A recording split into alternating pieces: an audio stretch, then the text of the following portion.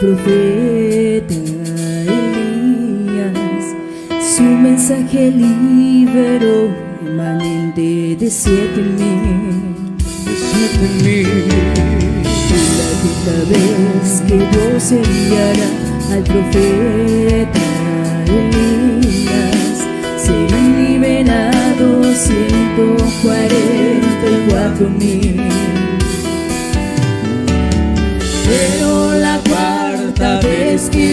Ha enviado al profeta Elías, un pueblo gentil como la viuda de Sarepta obtendrá libertad.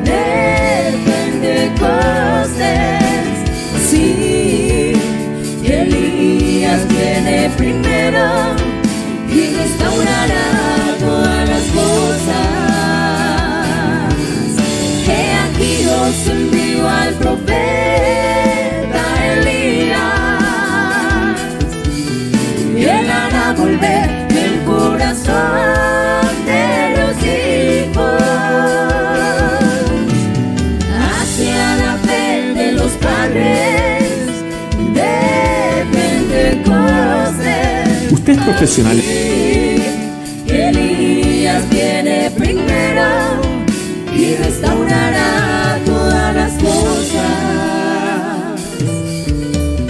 El mensaje de Elías es para liberar la fe del pueblo, prisioneros de caudicar entre dos pensamientos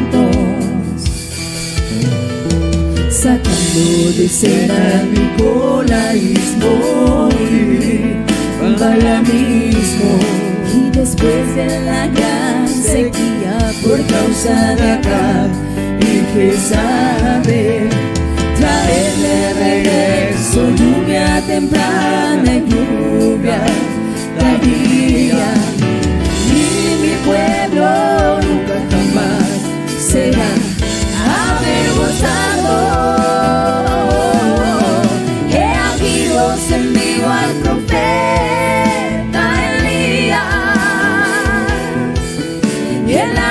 El corazón de los hijos hacia la fe de los padres de Pentecostés. Sí, Elías viene primero y restaurará todas las cosas. Oh, He aquí Dios envió al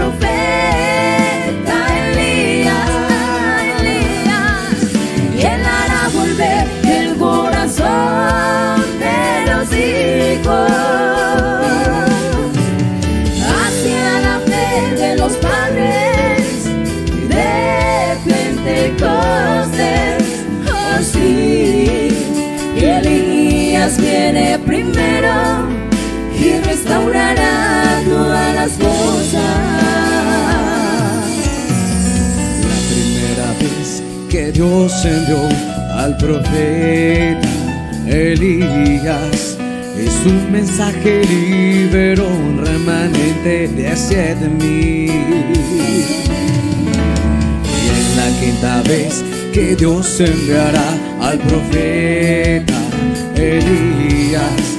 Serán liberados ciento cuarenta y cuatro mil. Pero la cuarta vez que Dios ha enviado al profeta Elías, un pueblo gentil como la viuda de Sarepta obtendrá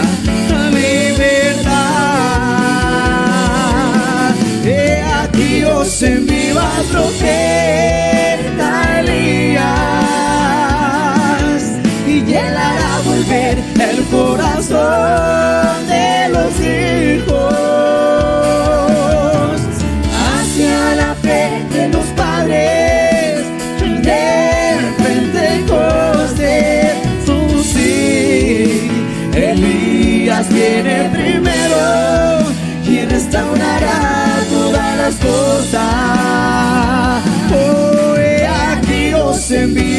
profeta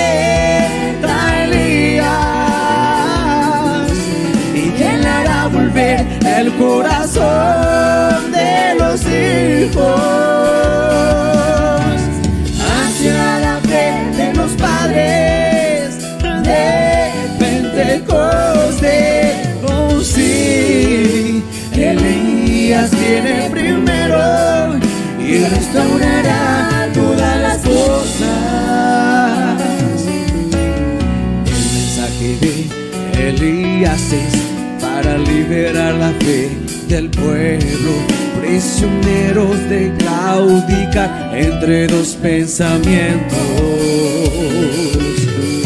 Sacando de escena Nicolaísmo y Balamismo y después de la gran sequía por causa de Acab y que sabe traer de regreso lluvia temprana, lluvia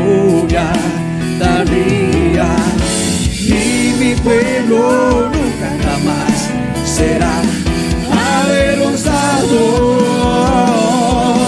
He aquí os envío al profeta Elías y él hará volver el corazón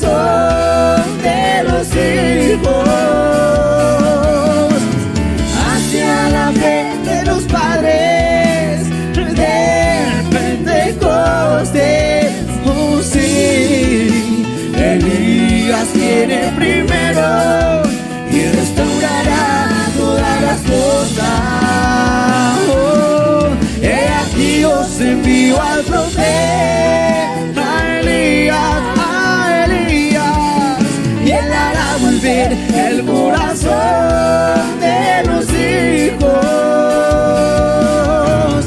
hacia la fe de los padres de Pentecostés. Oh sí, Elías viene primero y restaurará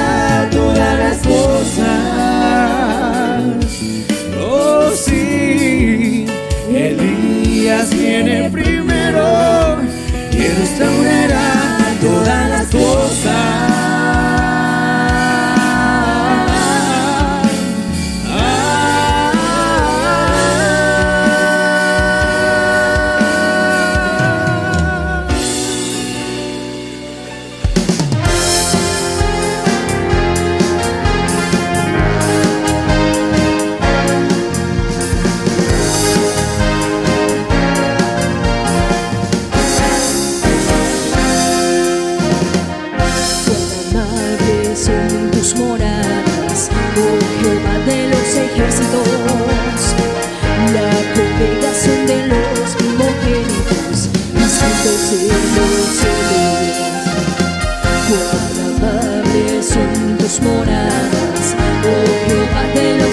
obstacles.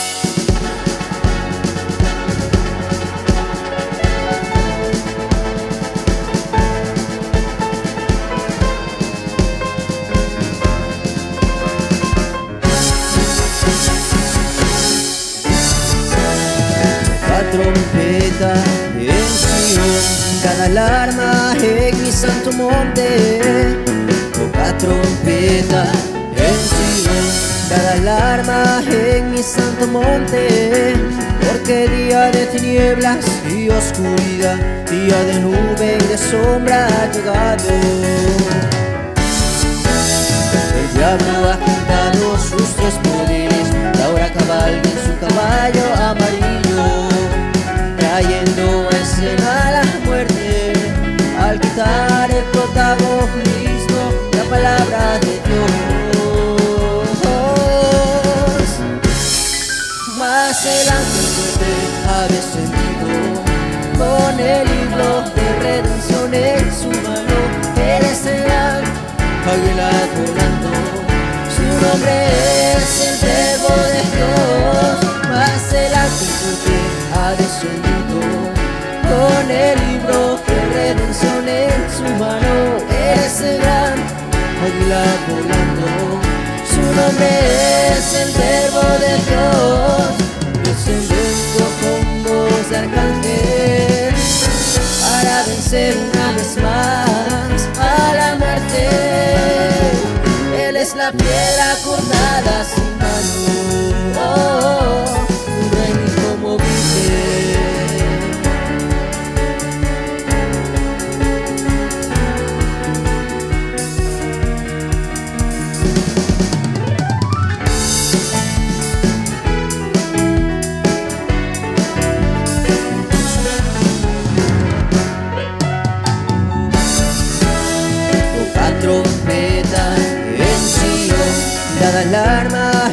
mi santo monte. Toca trompeta en Sion, dada alarma en mi santo muerte. El Cordero ha revelado el quinto sello y vimos el plan para destruir a Israel. El dragón después del segundo de sus ejércitos en contra de la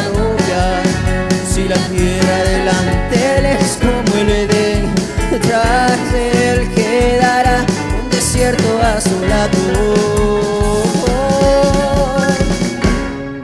Más ángel fuerte ha descendido con el libro de redención en su mano. Eres el águila volando. Su nombre es el verbo de Dios. Más el ángel fuerte ha descendido con el libro de redención en su mano. Eres el águila volando. Su nombre es el verbo de Dios, descendiendo con voz de arcángel para vencer una vez más a la muerte. Eres la piedra cortada sin mano, oh, oh, un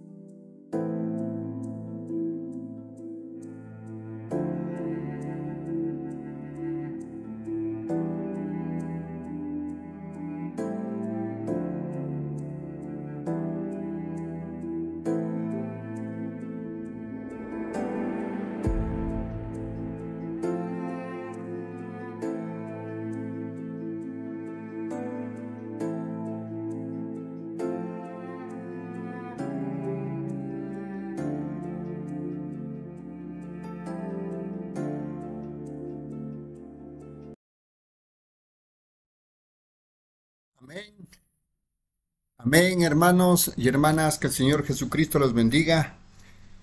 Iniciamos una nueva jornada y esto es el compañerismo que tenemos todos los días con la palabra de Dios, compartiendo la lectura de los mensajes de nuestro profeta Elías. Para eso vamos a pedir la dirección de nuestro Padre Celestial para que en esta tarde nos guíe a través de la lectura y que sepamos qué es lo que quiere tratar Dios con nosotros. Muchas gracias, Padre Celestial, por habernos permitido una vez más acercarnos ante ti con respeto, con reverencia, Señor, sabiendo de que eh, este es el último tiempo que tú nos enviaste a esa existencia, Señor. Todo se ha cumplido, Padre amado. Tú dijiste en Amós 3.7 que porque no hará nada el Señor sin que revele sus secretos a sus siervos los profetas. Oh Padre amado, entonces tú hablaste, Señor, a través de los profetas todas las cosas que tenían que suceder en estos seis mil años, oh Padre amado. Razón que en este último tiempo, Lucas 17:30 ha dado cumplimiento. Así será el día en que el Hijo del Hombre se manifieste. Entrando en la escena Apocalipsis 17, sino que en los días de la voz del séptimo ángel, cuando él comience a tocar la trompeta, el misterio de Dios se consumará, como así lo anunció a sus siervos, los profetas. Oh Padre amado, entonces estamos viendo nuestra realidad, Señor. El mensaje de la hora pasó, ha dejado nuestro profeta almacenado todos estos mensajes para un grupo predestinado de este último tiempo, Padre. Almacenado para que todo el mundo lo, lo coma, todos los águilas de este último tiempo, Señor. Y nosotros estamos viendo nuestra realidad de tu siguiente promesa de Apocalipsis 10, 8 al 11, donde tenemos que comernos del libro, profetizar nuevamente para tribus, lenguas, naciones y reyes, oh Padre. Muchas gracias por ese privilegio, Padre amado. Entonces en esta tarde queremos continuar compartiendo y recibiendo más de tus palabras, oh Padre amado, de este alimento glorioso que tú nos enviaste en este último tiempo. Muchas gracias por este privilegio que tú nos has dado. Te pedimos, Señor, en esta hora que tú nos bendigas, que sea tu bendición. Señor, que todo lo que hagamos sea de tu agrado, Padre. Permite que entramos rápidamente al compañerismo de tu palabra en el nombre del Señor Jesucristo. Amén, mis amados hermanos y hermanas. El Señor Jesucristo los bendiga y vamos a continuar con la lectura de este glorioso mensaje titulado Puertas tras la puerta. Servicio realizado en Flagstaff, Arizona, Estados Unidos, del día 6 de febrero del año 1965. Continuando con la lectura, nos hemos quedado en los párrafos 35 y continuamos. Párrafo 36 dice, el mensajero se regresó tan rápido como él pudo y él corrió hasta la celda. Dijo, tú estás libre, tú estás libre. Aquí está el señor Lincoln, la firma del señor Lincoln. Tú estás libre. Él dijo, ¿por qué viniste a burlarte de mí sabiendo que muero mañana? Él dijo, llévate eso de aquí tú únicamente te estás burlando de mí. Y él no lo recibía. Él dijo, no, yo, yo no lo quiero. Dijo, tú únicamente estás haciendo, dijo, si eso fuera del, del presidente, dijo, tendría el, el escudo de armas y tendría el papel correcto. Él dijo, pero es su firma. Él dijo, ¿cómo sabría yo que es su firma? Él dijo, Tú solamente te estás burlando de mí. Tú estás tratando de hacer que me sienta bien. Y él empezó a gritar y le dio la espalda. El muchacho fue fusilado a la mañana siguiente. Después que el muchacho había muerto y que el nombre del presidente estaba en ese pedazo de papel en el que él fue perdonado. Entonces, ¿qué? Y ellos lo juzgaron en el Tribunal Federal. Y esta fue la decisión de nuestro Tribunal Federal, el más alto de todos nuestros tribunales. Lo que ellos dicen a veces no nos gusta su decisión, pero tenemos que quedarnos con eso de todas maneras, ven, porque eso es el poste de amarre, eso es lo único, último. Ahora, dio esta decisión. Un perdón no es un perdón a menos que sea recibido como un perdón. Y así de esa manera es la palabra de Dios. Es un perdón si ella es recibida como un perdón. Y es la palabra de Dios, es el poder de Dios para aquellos quienes le creerán y la aceptarán. No importa si usted lo está mirando y dice, oh, la han enredado. Ha habido un millón de traducciones y todo eso. Podría ser así para alguien más, pero para mí Todavía es la palabra de Dios, Jesucristo el mismo ayer, hoy y por los siglos. Él está obligado a quedarse al lado de esa palabra. Párrafo 37. Ahora, Él tiene que juzgar algún día a la iglesia. Y si él la juzga por la iglesia católica, los cuales dicen que él lo hará, entonces, ¿por cuál iglesia católica la juzgará él? Ellas son diferentes una de la otra. Si él la juzga por la de los metodistas, ustedes bautistas están perdidos. Si él la juzga por la de los pentecostales, el resto de ustedes están perdidos. Pero él no lo juzgará por la iglesia. La Biblia dice que él juzgará al mundo por Jesucristo y Cristo es la palabra. Así que ustedes ven que estamos sin excusa. Es por la palabra de Dios que él nos juzga. Así que no importa cuán pequeña sea una palabra. Apocalipsis 22, 18 le da la importancia a esto. Párrafo 38. Primero, yo empezaré en Génesis. Dios le dio a la raza humana su palabra para que ellos mismos se fortificaran de la muerte, del pecado y del dolor o de cualquier desastre. Una cadena de su palabra. No tocaréis este cierto árbol porque el día que comiereis de él, ese día moriréis. Y una cadena es tan buena como su eslabón más débil y nuestras almas están colgadas sobre el infierno, agarradas de esa cadena. Romper uno de ellos, eso es todo lo que uno tiene que hacer. Eva nunca rompió una frase, ella rompió una palabra por medio de Satanás. Eso fue al principio del libro. A la mitad del libro vino Jesús y dijo, no solo de pan vivirá el hombre, sino de toda palabra, no parte de ella, solo uno aquí y allí, sino de toda palabra que sale de la boca de Dios. Párrafo 39. Cuando Él murió, resucitó y fue al cielo y regresó y le dio a Juan, lo cual Él dijo allí después de su resurrección, dijo, ¿qué sí? Dijo, ¿qué sucederá con este hombre? Jesús dijo, ¿qué a ti si Él queda hasta que yo venga?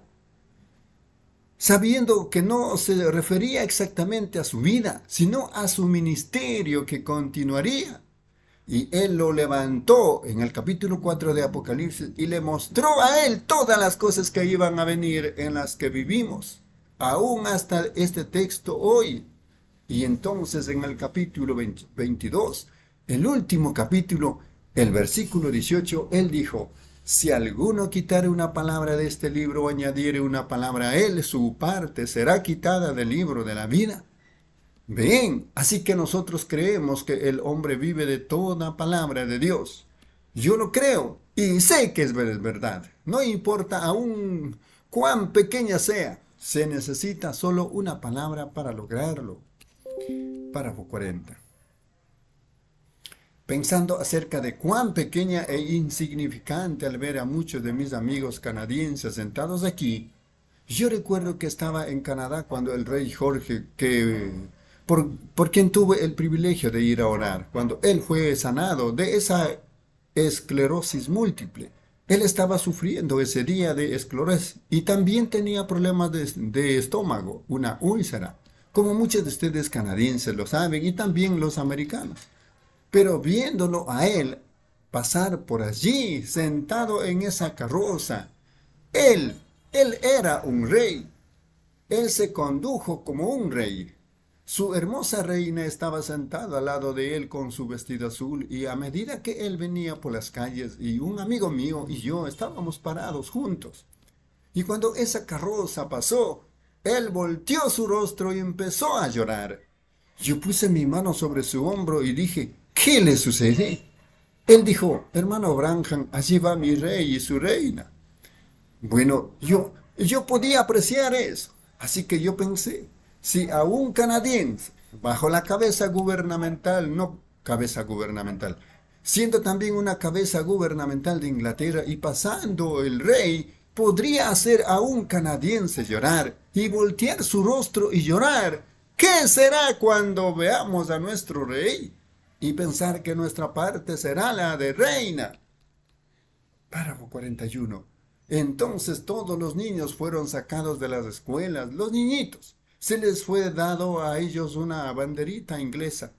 A la bandera canadiense se le nombra de, una de otra manera. Hermano Fried, ¿cómo se le nombra la bandera canadiense? El hermano Fried Sogman dice Unión Jack. Unión Jack, bandera del Reino Unido. Pero ellos les dieron a ellos una banderita inglesa para ondear. Y cuando el rey pasó, todos los pequeñitos se pararon ondeando sus banderitas y clamando al rey. Y, y allí había bandas tocando. Dios guarde al rey. Mientras él marchaba por la calle, oh, si ustedes solo pudieran tener un, ustedes obtendrían un cuadro de lo que va a ser allí en esa resurrección. 42. Y ellos fueron instruidos, los pequeñitos, de regresar a las escuelas tan pronto como el, el desfile terminara. Y al regresar los pequeñitos, una escuela perdió a una niñita. Y ellos fueron por donde quiera para buscar a la niñita, de un lado al otro de las calles. Y finalmente, detrás de un poste telegráfico estaba la pequeña niña enanita, derramando su corazoncito en lágrimas. Bueno, la maestra la levantó y ¿Qué, te sucede? ¿No viste al rey? Ella dijo, sí, yo vi al rey. Dijo, no, ¿no ondeaste tu bandera? Ella dijo, sí, yo, yo ondeé mi bandera. Ella dijo, bueno, entonces, ¿por qué estás llorando? Ella dijo, mire, maestra, yo soy tan pequeña. Los otros estaban parados enfrente de mí, ellos eran muy altos. Y yo ondeé mi bandera, pero él no la vio. Y ella estaba perturbada al respecto. Bueno, pudiera ser que el rey Jorge no vio a esa muchachita debido a su estatura.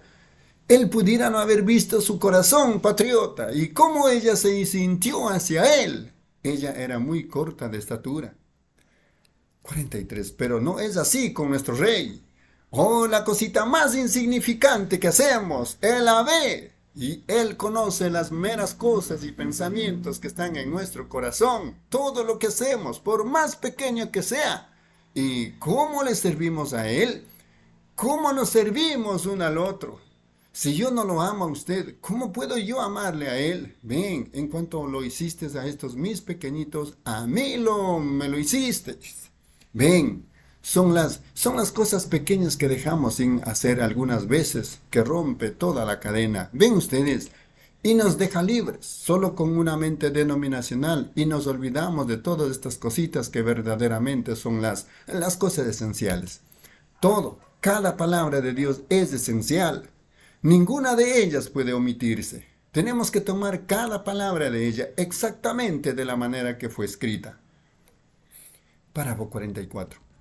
Yo estoy a la puerta, dijo Jesús en esta edad de la Odisea, y toco. ¿Se fijaron ustedes que es la única edad de la iglesia que lo ha puesto a él fuera de su iglesia?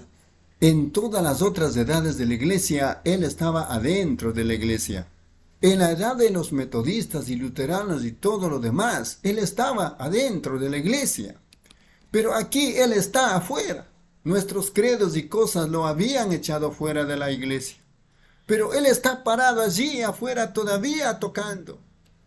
El que oiga y abra a la puerta, yo entraré a él y cenaré con él y le daré sanidad para sus ojos y, y, vestiduras y le daré las riquezas del cielo. El que me oyere tocar yo pensé que podía recordar el nombre de ese artista que dibujó ese cuadro. Pintó un cuadro, ah, mejor dicho, de él estando a la puerta. Cuando él, ustedes saben, todos esos grandes cuadros primero deben pasar por la línea o por el, salón de los críticos antes de que puedan ser colocados en el salón de la fama. Esa pintura original mm, hoy costaría millones de dólares. Párrafo 45 por último. Pero ven, de la misma manera la iglesia tiene que pasar a través del salón de los críticos. Nosotros pasamos por él. Ustedes van a ser llamados, aleluyas. Ustedes van a ser llamados de todo. Pero si ustedes tan solo pudieran mantener su posición en Cristo, entonces algún día Él nos llevará al salón de la fama. Pero primero tenemos que soportar la crítica. Allí es en donde nuestra pequeñez se para. Allí es en donde se muestra. Aquel que no puede soportar el castigo es un hijo bastardo, no un hijo de Dios. No importa qué tanto él se haya unido a la iglesia y todo lo que él haya hecho. Él todavía es. Si no puede soportar el castigo, él es un bastardo y no un verdadero hijo de Dios. Pero un verdadero hijo genuino de Dios no le importa lo que el mundo diga. Todo lo demás es secundario. Él tiene su mente en Cristo y eso lo concluye todo. Sí, todo lo que Cristo diga que se haga, Él lo hará. A donde quiera que va el Cordero, ellos están con Él, a donde sea. Y entonces usted se ve su aparición, su presencia y lo que Él hace. Él siempre está con su pueblo, su novia. Él la está cortejando. Algún día va a haber una cena de las bodas. Aleluya. Amén. Amén, hermanos y hermanas.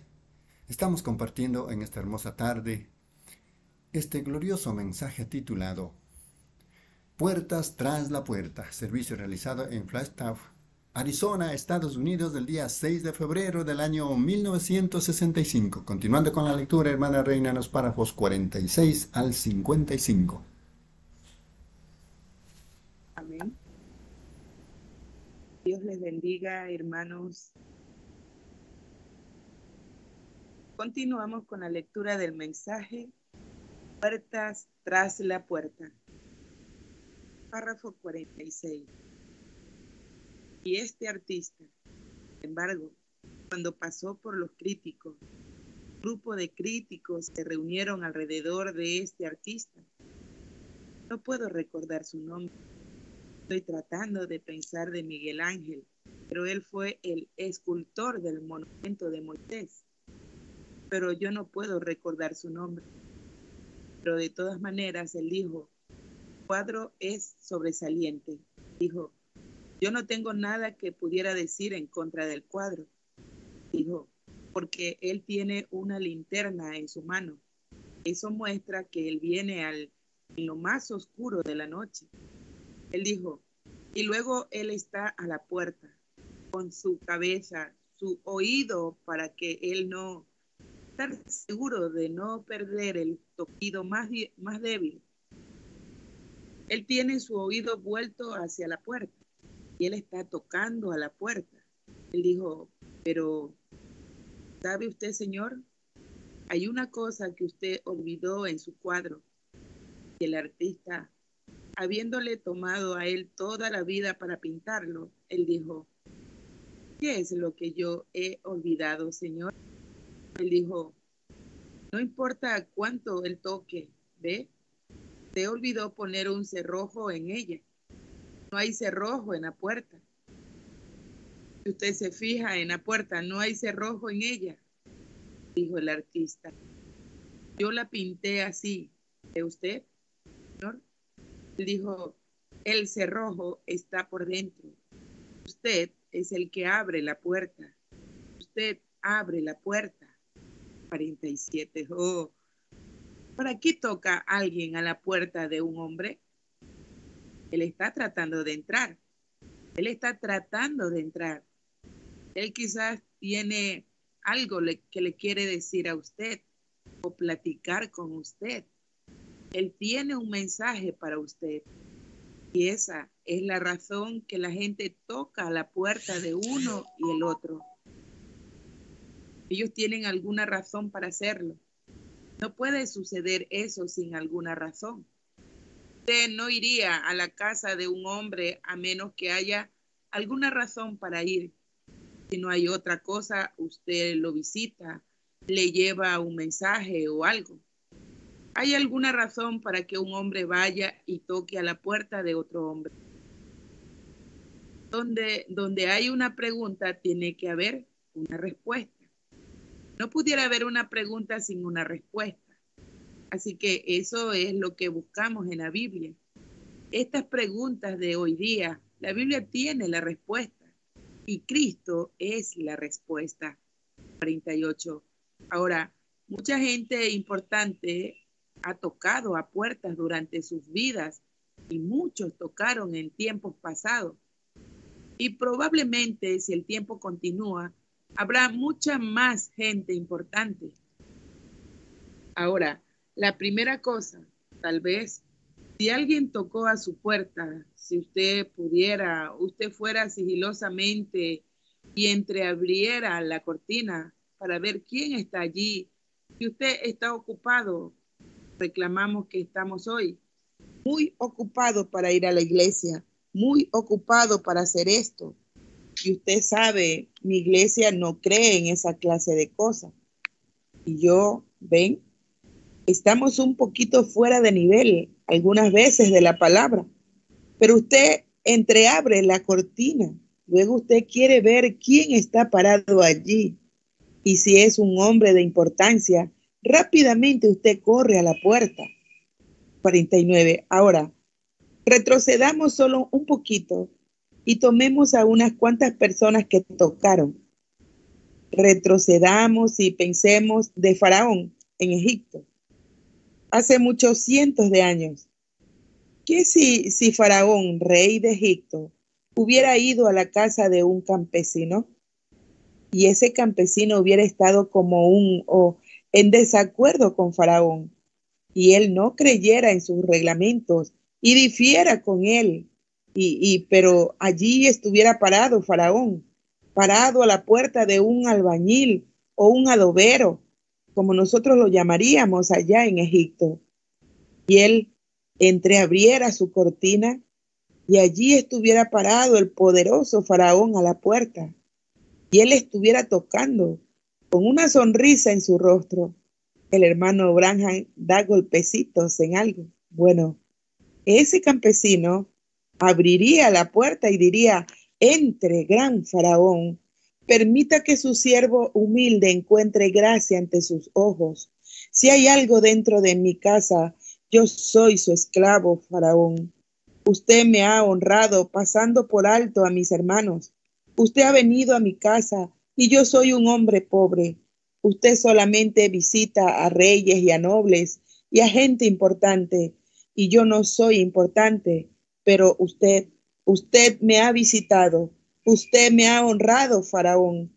¿Qué es lo que su humilde siervo podría hacer?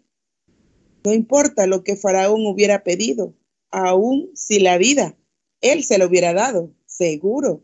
Es un honor. 50. O digamos, por ejemplo, el difunto Adolfo Hitler, cuando él era líder de Alemania. ¿Qué si él hubiera ido a la casa de un soldado? y ese grupo de soldados nazis, todos acampados alrededor, y cuando menos pensó, bueno, alguien tocó a la puerta, y el soldado dijo, ah, me siento mal esta mañana, esposa, diles que se vayan. Y ella fuera a la puerta y entreabriera la cortina y dijera, esposo, esposo, levántate pronto. ¿Qué sucede? ¿Quién está parado allí? Hitler, el líder de Alemania. Oh, qué cosa. Ese soldado se levantaría, se pondría su ropa rápidamente y se pararía en posición de firmes. Caminaría hacia la puerta, quitaría el cerrojo de la puerta y abriría la puerta y dijera, salve Hitler, ven, él era un gran hombre en sus días en Alemania. ¿Qué es lo que yo pudiera hacer? Si él hubiera dicho, ve y arrójate de aquel acantilado, él lo hubiera hecho. ¿Por qué? No hay más. No había un hombre más importante en Alemania en los días de los nazis que lo que era Adolfo Hitler. Él era un gran hombre y él, y qué honor, cuando él únicamente visitaba generales y grandes hombres, pero allí estaba él a la puerta de un soldado raso. Oh, Ciertamente hubiera sido un gran honor para él. 51. Bueno, ahora, ¿qué de Flagstaff? Lo traeremos más cerca a casa. ¿Qué si en esta tarde, qué si nuestro presidente, el señor Johnson, LB Johnson, qué si él bajara de un avión aquí en alguna parte? Y ahora todos estamos incluidos en una misma clase de gente. Todos somos pobres Quizás uno tiene un trabajo un poquito mejor, quizás una casa un poquito mejor, pero después de todo, solo somos humanos. Pero, ¿qué si él fuera aquí a su casa, quizás a la más humilde de nosotros, y él tocara la puerta, y usted fuera a la puerta, y allí estuviera parado el presidente L.B. Johnson? Bueno, sería un gran honor. Usted podría diferir con él en la política pero usted sería un hombre honrado de tener el presidente de los Estados Unidos parado a su puerta. ¿Quién es usted ¿O quién soy yo? Y allí parado está Lyndon Johnson a su puerta. Aunque usted pudiera ser un socialista o un republicano o diferir con él un millón de kilómetros, sin embargo, sería un honor. 52. ¿Y sabe qué? Debido a que a usted se le fue otorgado este honor, bueno, la televisión lo proyectaría en la pantalla en esta noche, seguro. Los periódicos mañana tendrían encabezados de, él. Aquí en el periódico de Flagstaff, que John Doe, el presidente de los Estados Unidos, voló a Flagstaff ayer sin ser llamado y simplemente fue allá aún sin invitación y tocó a su puerta. Humilde. Ese presidente tendría la reputación de ser un hombre humilde, pues tan grande como él es, y venir a mi puerta o a su puerta, nosotros no somos nada, y luego venir y hablar con nosotros. Bueno, usted caminaría por la calle y diría, sí, yo soy el hombre, el presidente me visitó. Deténgase, permítame retratarlo, retratarlo. Míreme de frente. Ahora, ¿cómo se miraría usted cuando fuera caminando? Usted sería una persona importante, seguro. 53. ¿Qué si la reina de Inglaterra viniera, aunque ustedes no están bajo su dominio? Pero sería un honor para algunas de, ustedes mujeres hospedar a la reina de Inglaterra, aunque ustedes no están bajo su dominio. Pero, sin embargo, ella es una gran persona. Ella es la reina más ilustre en el mundo en este momento. Seguramente que ella lo es. Eso es hablando políticamente. Pero si ella le pidiera a usted por algún pequeño adorno en su pared, que usted lo ha apreciado mucho, usted se lo daría a ella. Sería un honor para usted dárselo. Seguro, ella es la reina de Inglaterra y usted sería honrado por el presidente y todos hablarían respecto a la humildad de la reina de Inglaterra de volar hasta aquí para ver a una cierta mujer en Flagstaff, una don nadie. Y los periódicos lo declararían y los noticieros lo transmitirían de inmediato. 54. Pero ustedes saben, la persona más importante de todos los tiempos, Jesucristo, toca a nuestra puerta y Él es rechazado, más que todos los reyes y potentados que hayan existido. Eso es correcto. Usted pudiera aceptarlo y salir y decir algo al respecto. El mundo de afuera se reiría en su cara. Ningún noticiero va a... ¿Quién pudiera venir a su casa que fuera más grande que Jesucristo? ¿Quién pudiera tocar a su puerta que fuera más grande que Jesucristo? ¿Quién pudiera hacer eso? El Hijo de Dios. ¿Quién pudiera tocar en su casa que pudiera ser más importante? Y sin embargo, Él toca día tras día. Y si usted lo acepta a Él, usted es llamado un fanático. Así que, ¿ven cómo el mundo conoce a los suyos? Eso es correcto. Pero miren, él no vendrá a menos que Él tenga una razón para venir. Y ustedes piensan de la humildad del presidente Johnson o de la reina de Inglaterra o de cualquier gran persona, cómo sería desplegada la humildad de esa gran persona importante al tocar a su puerta. ¿Qué de la humildad del Hijo de Dios? ¿Quiénes somos nosotros sino pecadores inmundos, nacidos en pecado, formados en iniquidad, viniendo al mundo hablando mentiras. Y luego el Hijo de Dios venir y tocar a nuestra puerta. 55. Ahora, la reina de Inglaterra podría pedirle a usted un favor. Ella podría tomar algo de usted. Así también el presidente. Él podría pedirle a usted que hiciera cosas que usted no quisiera hacer. Él podría pedirle a usted tesoros que usted no quisiera dar, y lo cual no significaría nada para él.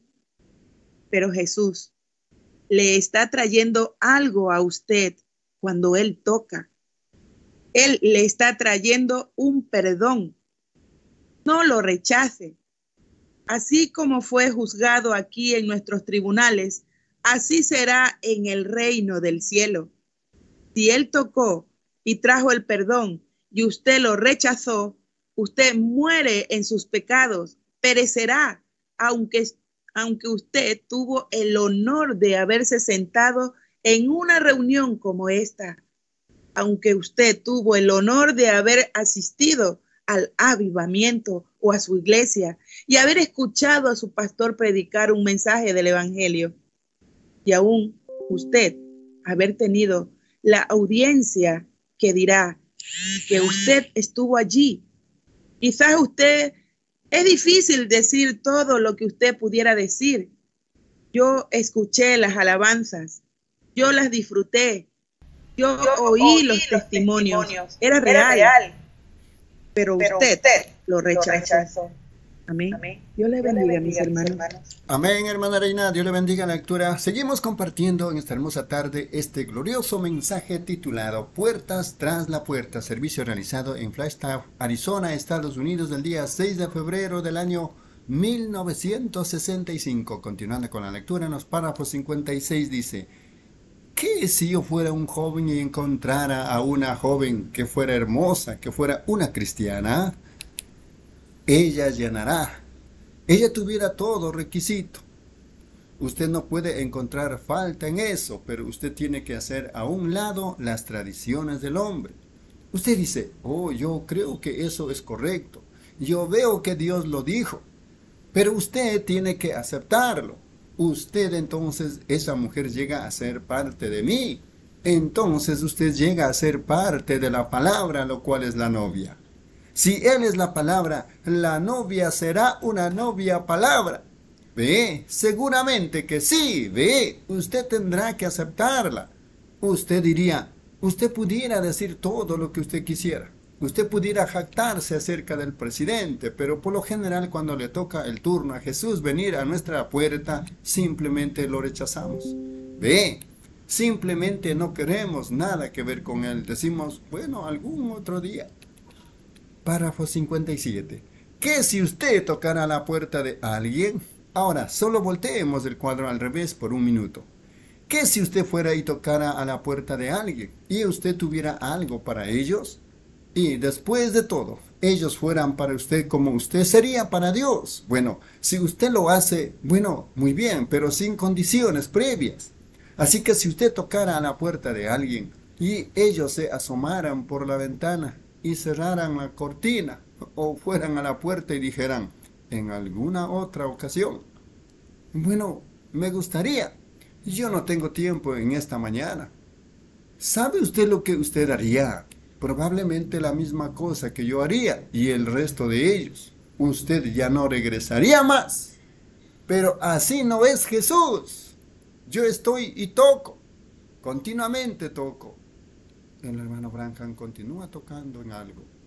Ven, el que busca, no buscar, el que busca, el que toca, tocar, tocar continuamente, el que toca, ve, el que busca, el que toca, se lo, no solamente.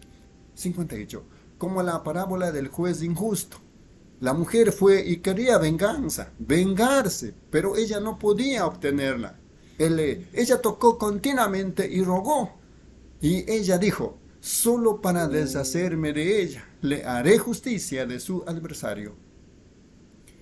¿Cuánto mucho más hará el Padre Celestial?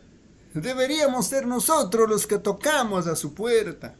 Debería haber sido Adán el que estuviera corriendo de punta a punta en el jardín, gritando, Padre, Padre, ¿en dónde estás tú? Pero en lugar, en lugar de eso era Dios corriendo de punta a punta en el jardín. Hijo, hijo, ¿en dónde estás? Ven, eso simplemente demuestra lo que somos. Nosotros siempre nos estamos escondiendo en lugar de salir y confesarlo. Tratamos de correr, de escondernos detrás de algo.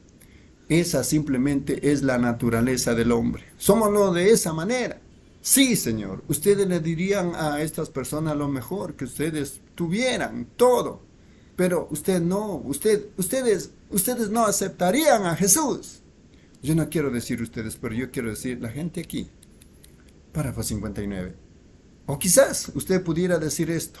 Usted pudiera decir, predicador, yo ya hice eso. Yo, yo, yo simplemente abrí mi corazón y le prometí a Jesús entrar. Yo hice eso hace 10 años. Yo hice eso hace 20 años. Bueno, pueda que eso esté exactamente correcto, pero ¿es eso todo lo que usted hizo? Ve, yo quiero preguntarle algo. Si usted invitara a alguien a su casa y luego cuando usted entrara, alguien lo invitara a usted a entrar, mucho mejor, mejor dicho, perdón, y dijera, entre, sí, yo tengo un propósito, saldré de la ciudad y seré honrado. Ven ustedes, de esa manera mucha gente acepta a Cristo. Yo, yo, yo pertenezco a la iglesia. Yo pertenezco al lugar donde tal y tal de aquí, en donde el doctor PHDLL pertenece, ustedes saben, y es la iglesia más grande. El alcalde asiste allí y todo, ustedes saben. Yo, yo pertenezco a esa iglesia. Ellos le permitieron entrar a él, solo tanto así. Sí, yo lo aceptaré a él. Ven, para una ganancia personal. Párrafo 60. Pero, ¿qué de entonces cuando Jesús entra al corazón? Mucha gente lo acepta a él porque ellos no quieren irse al infierno. Pero cuando Jesús entra en su corazón, Él quiere ser Señor, no solo un Salvador, pero también Señor. Señor significa dominio. Él entra para, para hacerse a cargo. Ahora, usted dice, ¿es eso correcto, hermano Branham? Seguro que sí. Sí, yo lo invitará a usted a mi casa y usted llegara a la puerta y usted tocara la puerta y yo mirara afuera. Yo dijera, sí, entre. Si usted puede ayudarme, bueno, hágalo. Pero mire, cuando usted entre, mire usted. Yo no quiero que ande metiéndose por todas partes en mi casa. Párese ahí a la puerta. Eh, recuerden que nuestro texto es puertas tras la puerta. Ahora, dentro del corazón humano hay muchas puertas pequeñas. Y esas puertas pequeñas cubren muchas cosas. Solo permitiéndole a él entrar. Eso no es todo cuando él entra. Párrafo 61. Cuando yo entro a su casa, si usted me hace bienvenido al entrar por la puerta, bueno, si usted dijera, entre, hermano Branham, estoy muy contento de verlo. Yo diría, bueno, es un privilegio para mí entrar en su casa. Oh, ¿por qué no pasa y se sienta, hermano Branham? Vaya por toda nuestra casa. Siéntese usted en casa. Oh, hermano, yo iría al refrigerador, me agarraría uno de esos enormes emparedados así de grande, me quitaría mis zapatos, iría a la recámara, me acostaría. Y simplemente tendría un, un verdadero jubileo gastronómico. Ven, ¿por qué? Porque me sentí bienvenido. Usted me hizo bienvenido. Por lo tanto, yo apreciaría si usted me hiciera bienvenido. Amén. Párrafo 62. Pero si yo entrara en su casa y usted me dijera, párese ahí a la puerta y mire usted, no ande metiéndose por todas partes. Yo no me sentiría muy bienvenido. ¿Se sentirían ustedes? No, ven, ustedes no se sentirían bienvenidos. Si alguien le invitara a usted a entrar y dijera, mire, espere, sí, entre, pero párese ahí.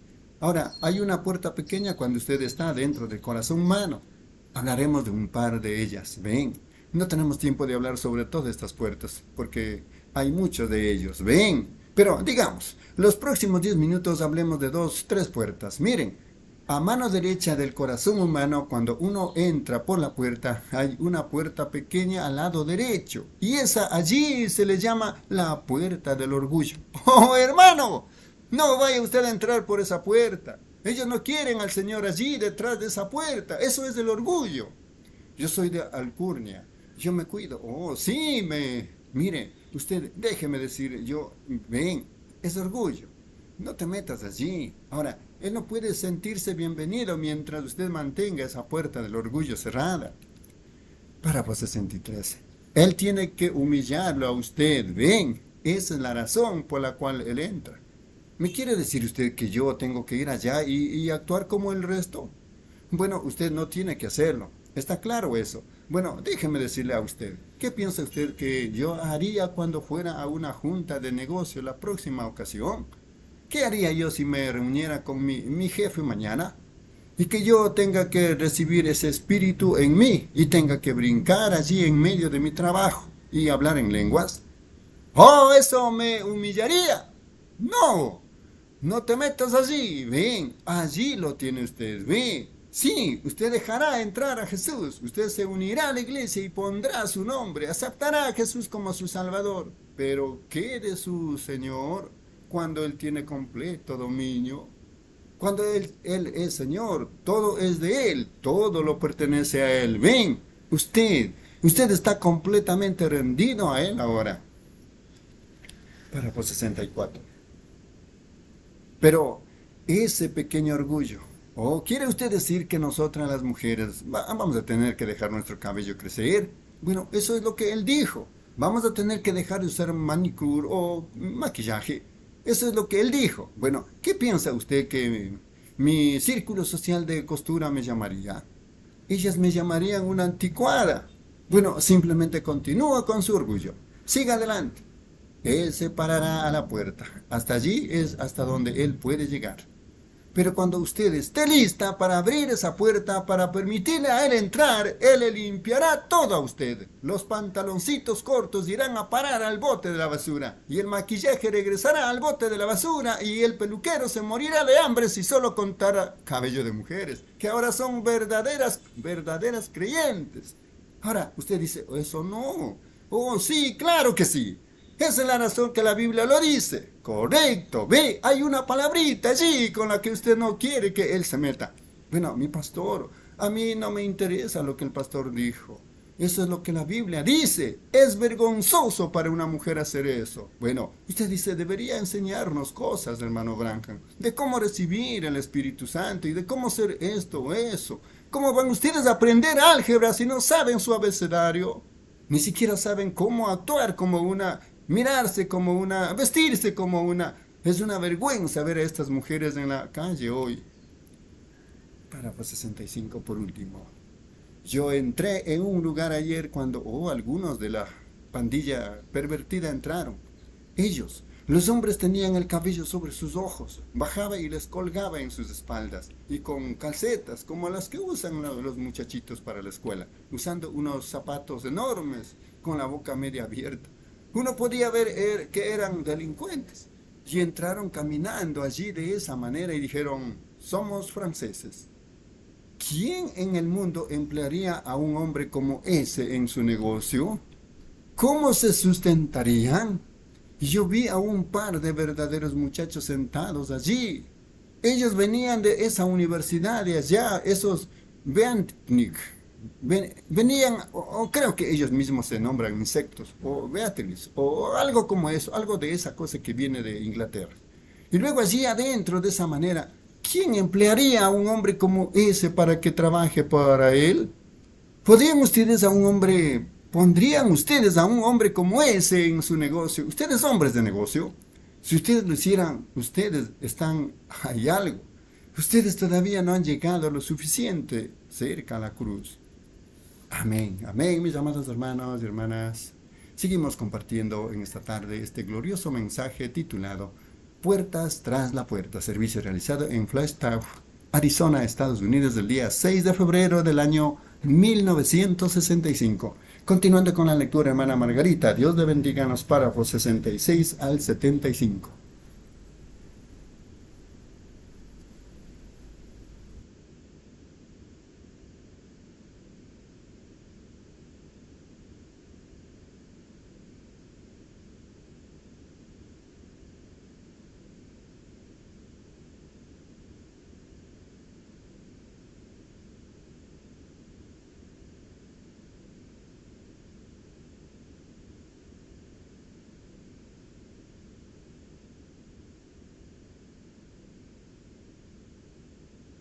Sí, hermano, Dios les bendiga.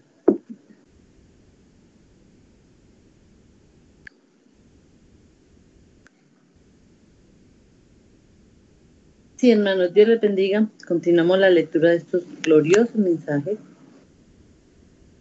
del año 65 06 206.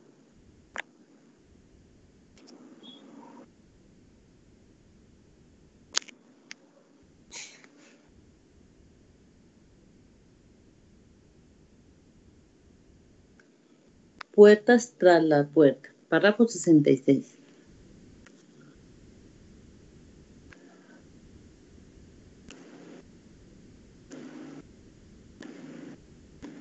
Miren, estas a estas mujeres en la calle y esas y esa es una desgracia.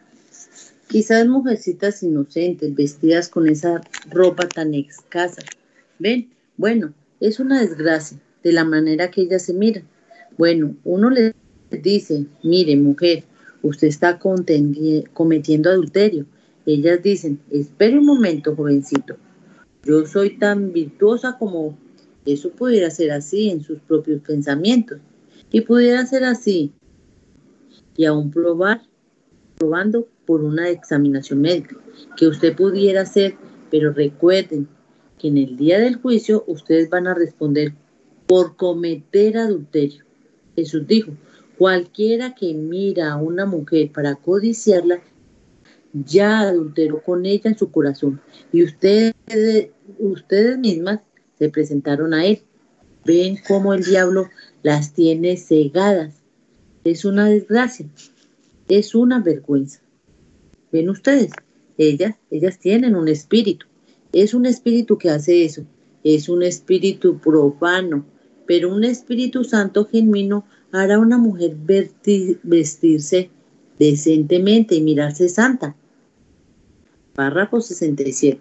Mi esposa me dijo en una ocasión íbamos caminando por la calle y encontramos a una mujer con un vestido puesto allá en nuestra región.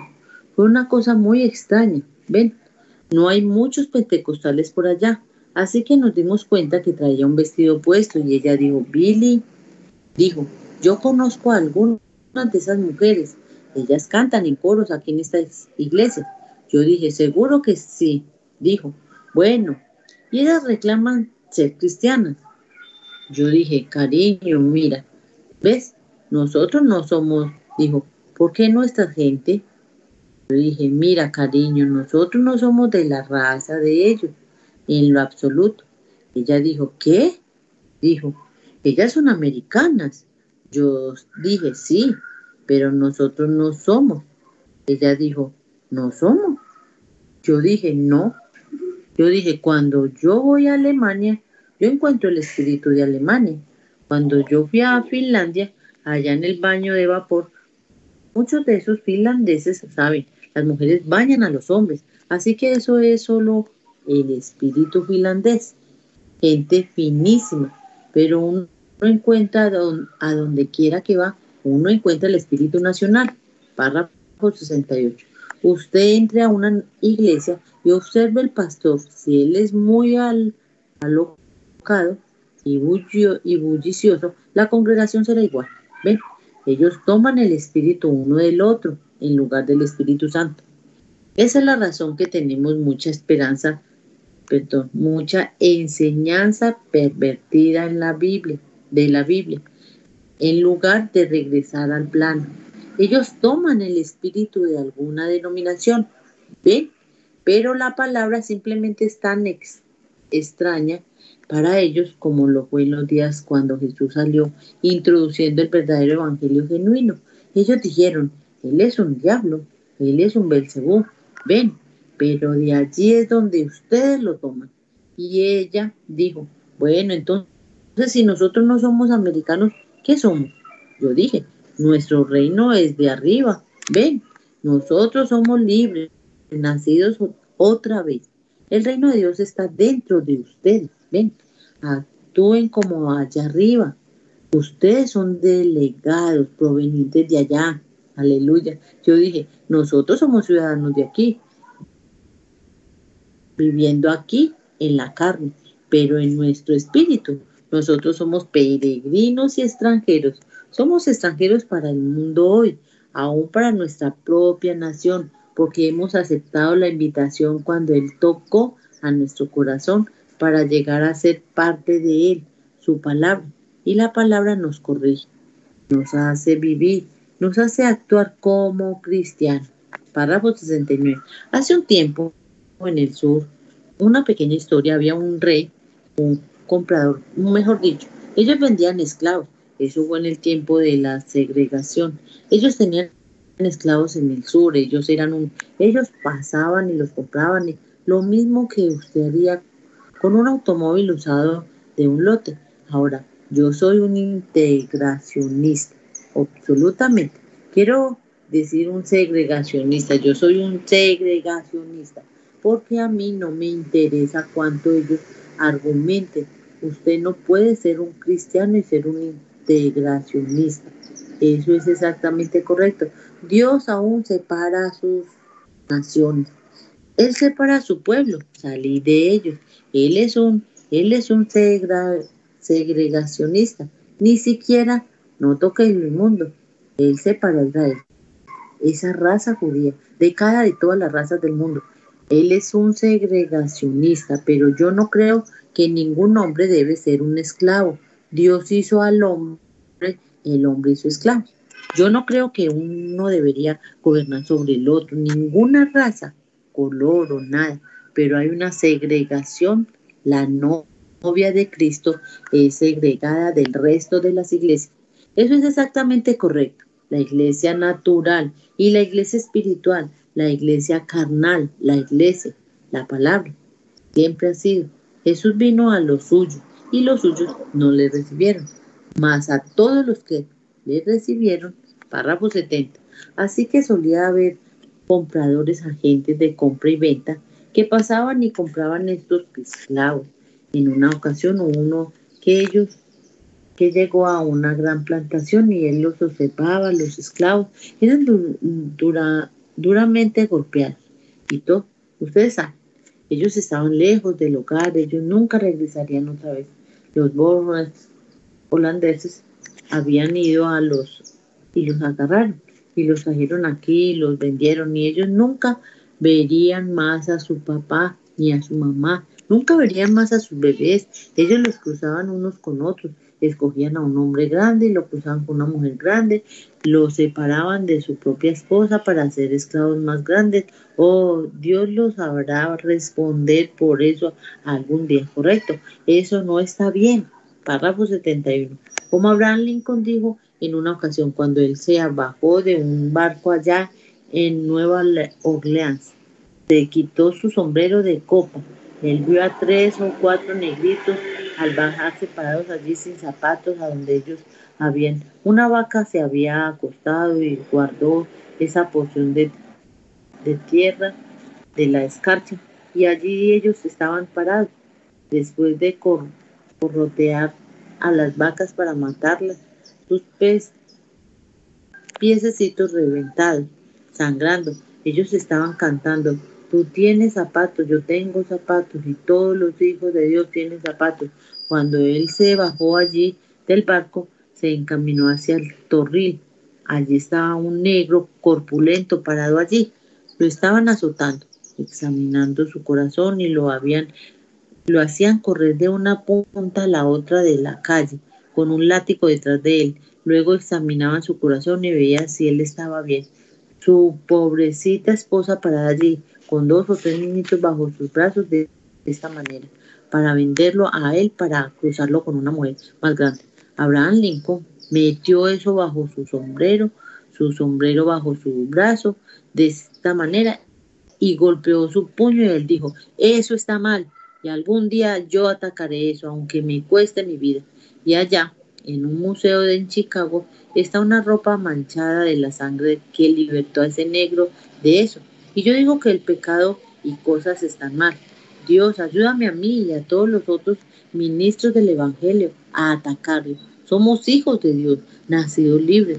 No tenemos nada que ver con ningún credo oculto que nos haga entrar al concilio mundial de iglesia. Somos hombres nacidos libres en el Espíritu Santo.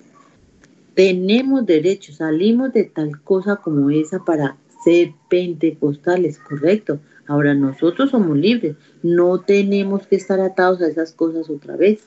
Párrafo 72. Ah, pero este comprador dijo, mirando a todos los esclavos, unos 100 o más de ellos, en una plantación grande, él dijo, oiga, un hombrecito allí no tenía que azotarlo a él, tenía su pecho erguido, su rostro levantado, siempre atento al, en el trabajo. Dijo, oiga, yo lo quiero comprar a él. Él dijo, oh no. El dueño dijo, él no está en venta. Él dijo, bueno, ¿es él un esclavo? Dijo, sí.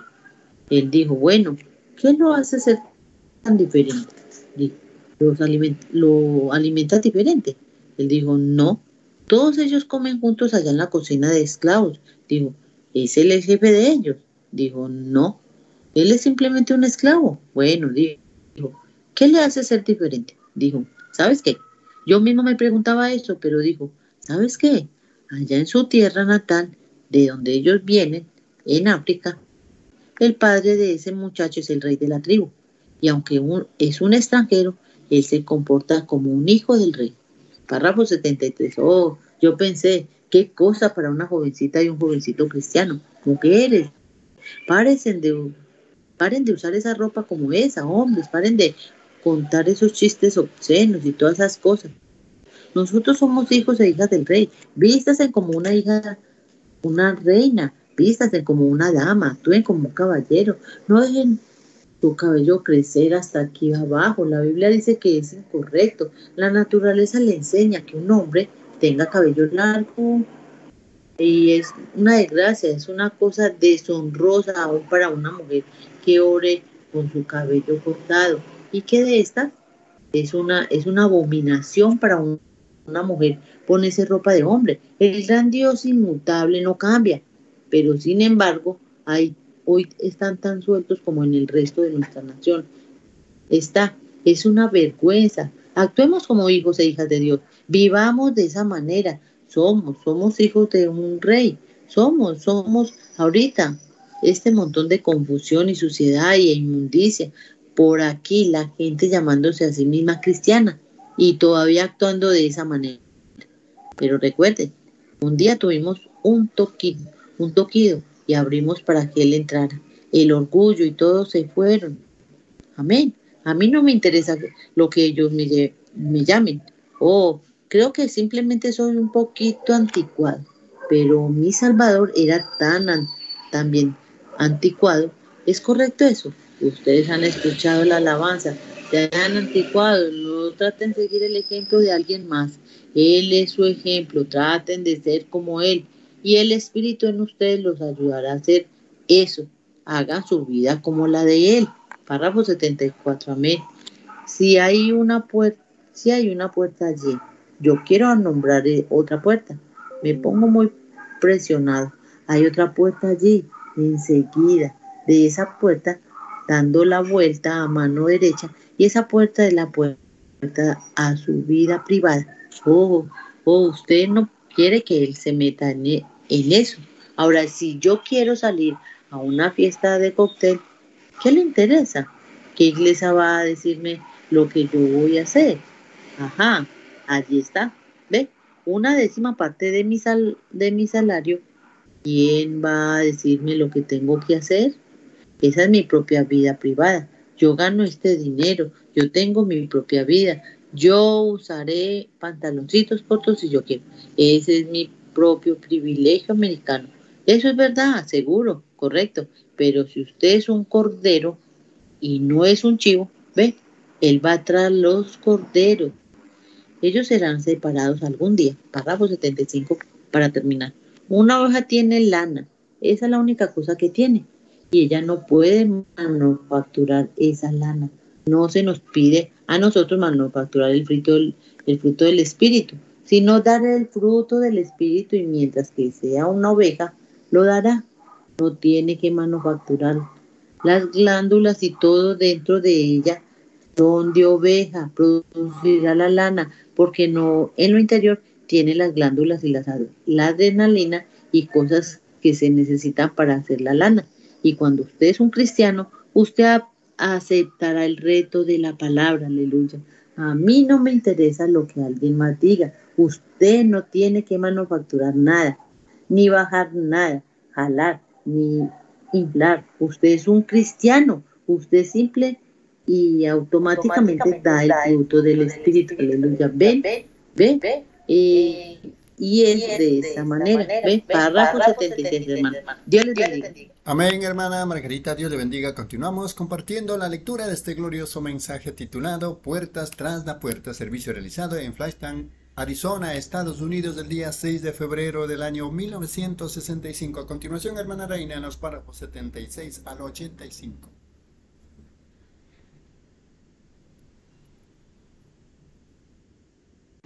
Amén. Dios le bendiga, hermanos y hermanas. Continuamos con la lectura del mensaje Puertas tras la puerta, párrafo 76. Pero la gente hoy, ellos no quieren que uno se meta con la vida privada de ellos. La única cosa que usted hace es simplemente abrir cada puerta alrededor y luego decir, entra Jesús, observe lo que sucede. Cuando usted ve en la Biblia que usted debe de hacer esto, usted lo hará. ¿Por qué? Usted es una oveja para empezar. Pero si usted solo quiere que se quede, que él se quede en la puerta, solo diga, yo me he unido a la iglesia, yo soy tan bueno como usted. ¿Ve? Yo acepté a Cristo.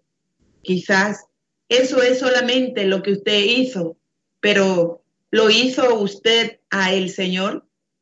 ¿Ve?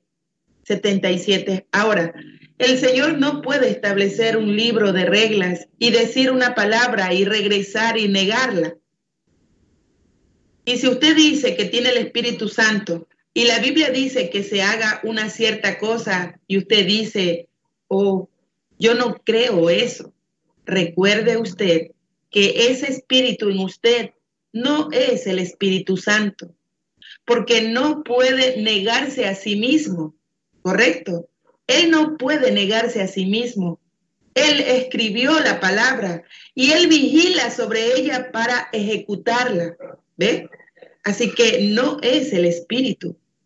Es un espíritu, seguro que sí. Pudiera ser un espíritu de la iglesia, pudiera ser el espíritu del pastor, pudiera ser el espíritu del mundo, pudiera ser. Yo no sé lo que es, pero lo que sea, pudiera ser un espíritu denominacional. Yo soy metodista, yo soy bautista, yo soy presbiteriano, yo soy pentecostal, yo soy esto y eso. Pentecostés 78. Ahora recuerden, permítanme aclararlo. Pentecostés no es una organización.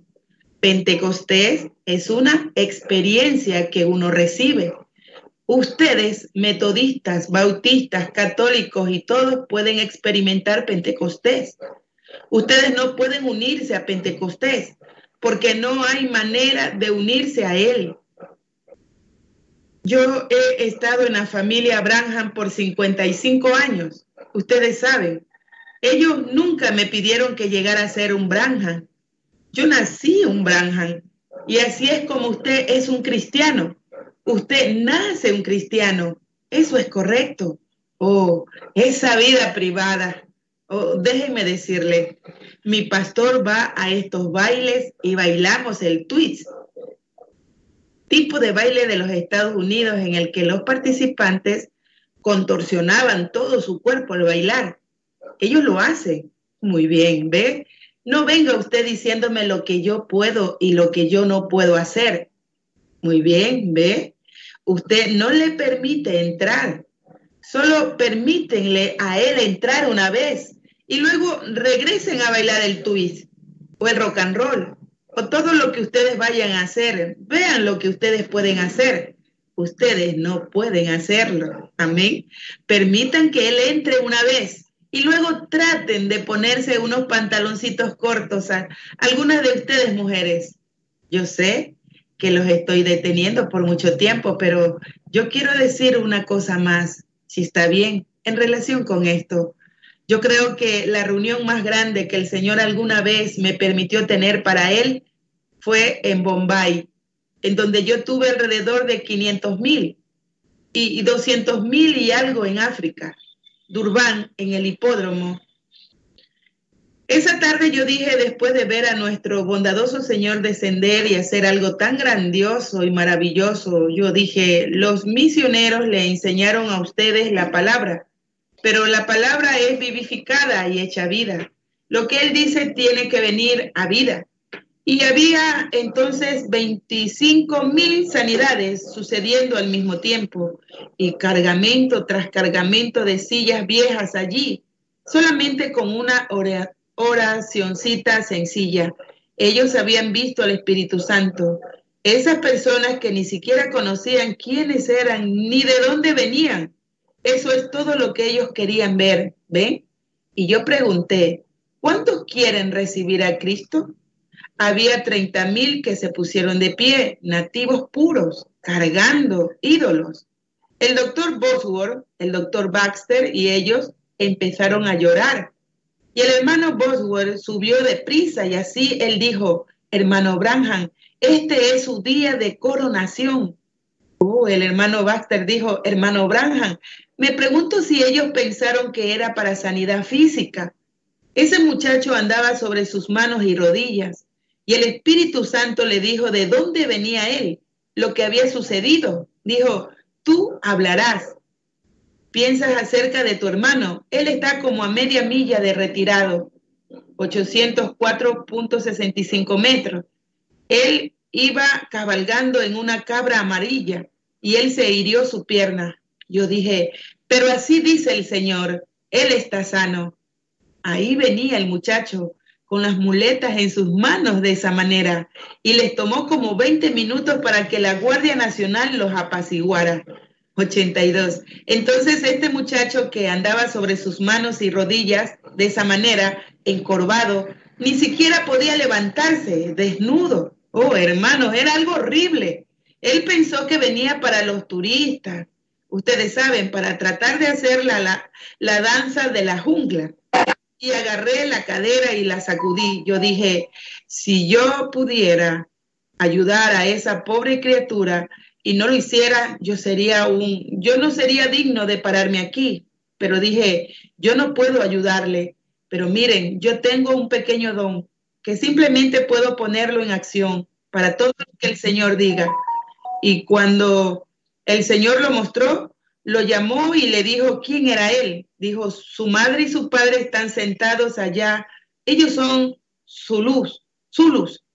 Y dijo, es extraño que ellos sean delgados. Un hombre Zulu pesa un promedio de 300 libras, 135 kilos. Así que entonces dijo, no es común que ellos sean delgados, pero este muchacho nació en un hogar porque a su a mano derecha, a medida que uno entra en la puerta, hay un cuadro de Cristo en la pequeña choza de paja. Y eso era exactamente correcto. Su madre y padre se pusieron de pie y ese era su nombre. Ese era él y todo. Ellos no podían entender. Yo volteé y lo vi a él parado en una visión allí, tan derecho como podía estar. Nunca se había incorporado en su vida. Él nació de esa manera.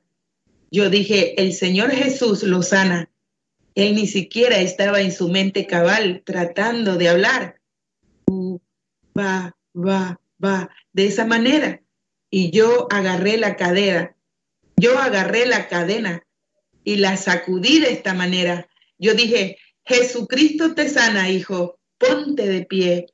Allí él se levantó, las lágrimas corriéndole y por su barriga negra mientras él se bajaba de esa manera. Yo vi a 30 mil nativos puros dar su corazón a Jesucristo. 83. Cuando en un club Kiwanis, yo dije, miren, y ellos me dijeron que iba a llegar a ser un aleluya cuando dejé la iglesia bautista para tener compañerismo con toda la gente. Ellos dijeron, bueno, tú llegarás a ser un aleluya yo me senté con un grupo de mis hermanos bautistas. Yo dije, ustedes han enviado misioneros allá por los últimos 150 años. ¿Cómo los encontré yo a ellos? Todavía cargando ídolos. Yo dije, Pero por el poder de la resurrección de Jesucristo, 30 mil recibieron a Cristo en una sola ocasión. Ahora, yo quiero decirles a ustedes, mujeres, ¿saben ustedes lo que le sucedió a esas mujeres? Yo dije, en el mismo lugar en donde ustedes están parados, el Espíritu Santo los llenará.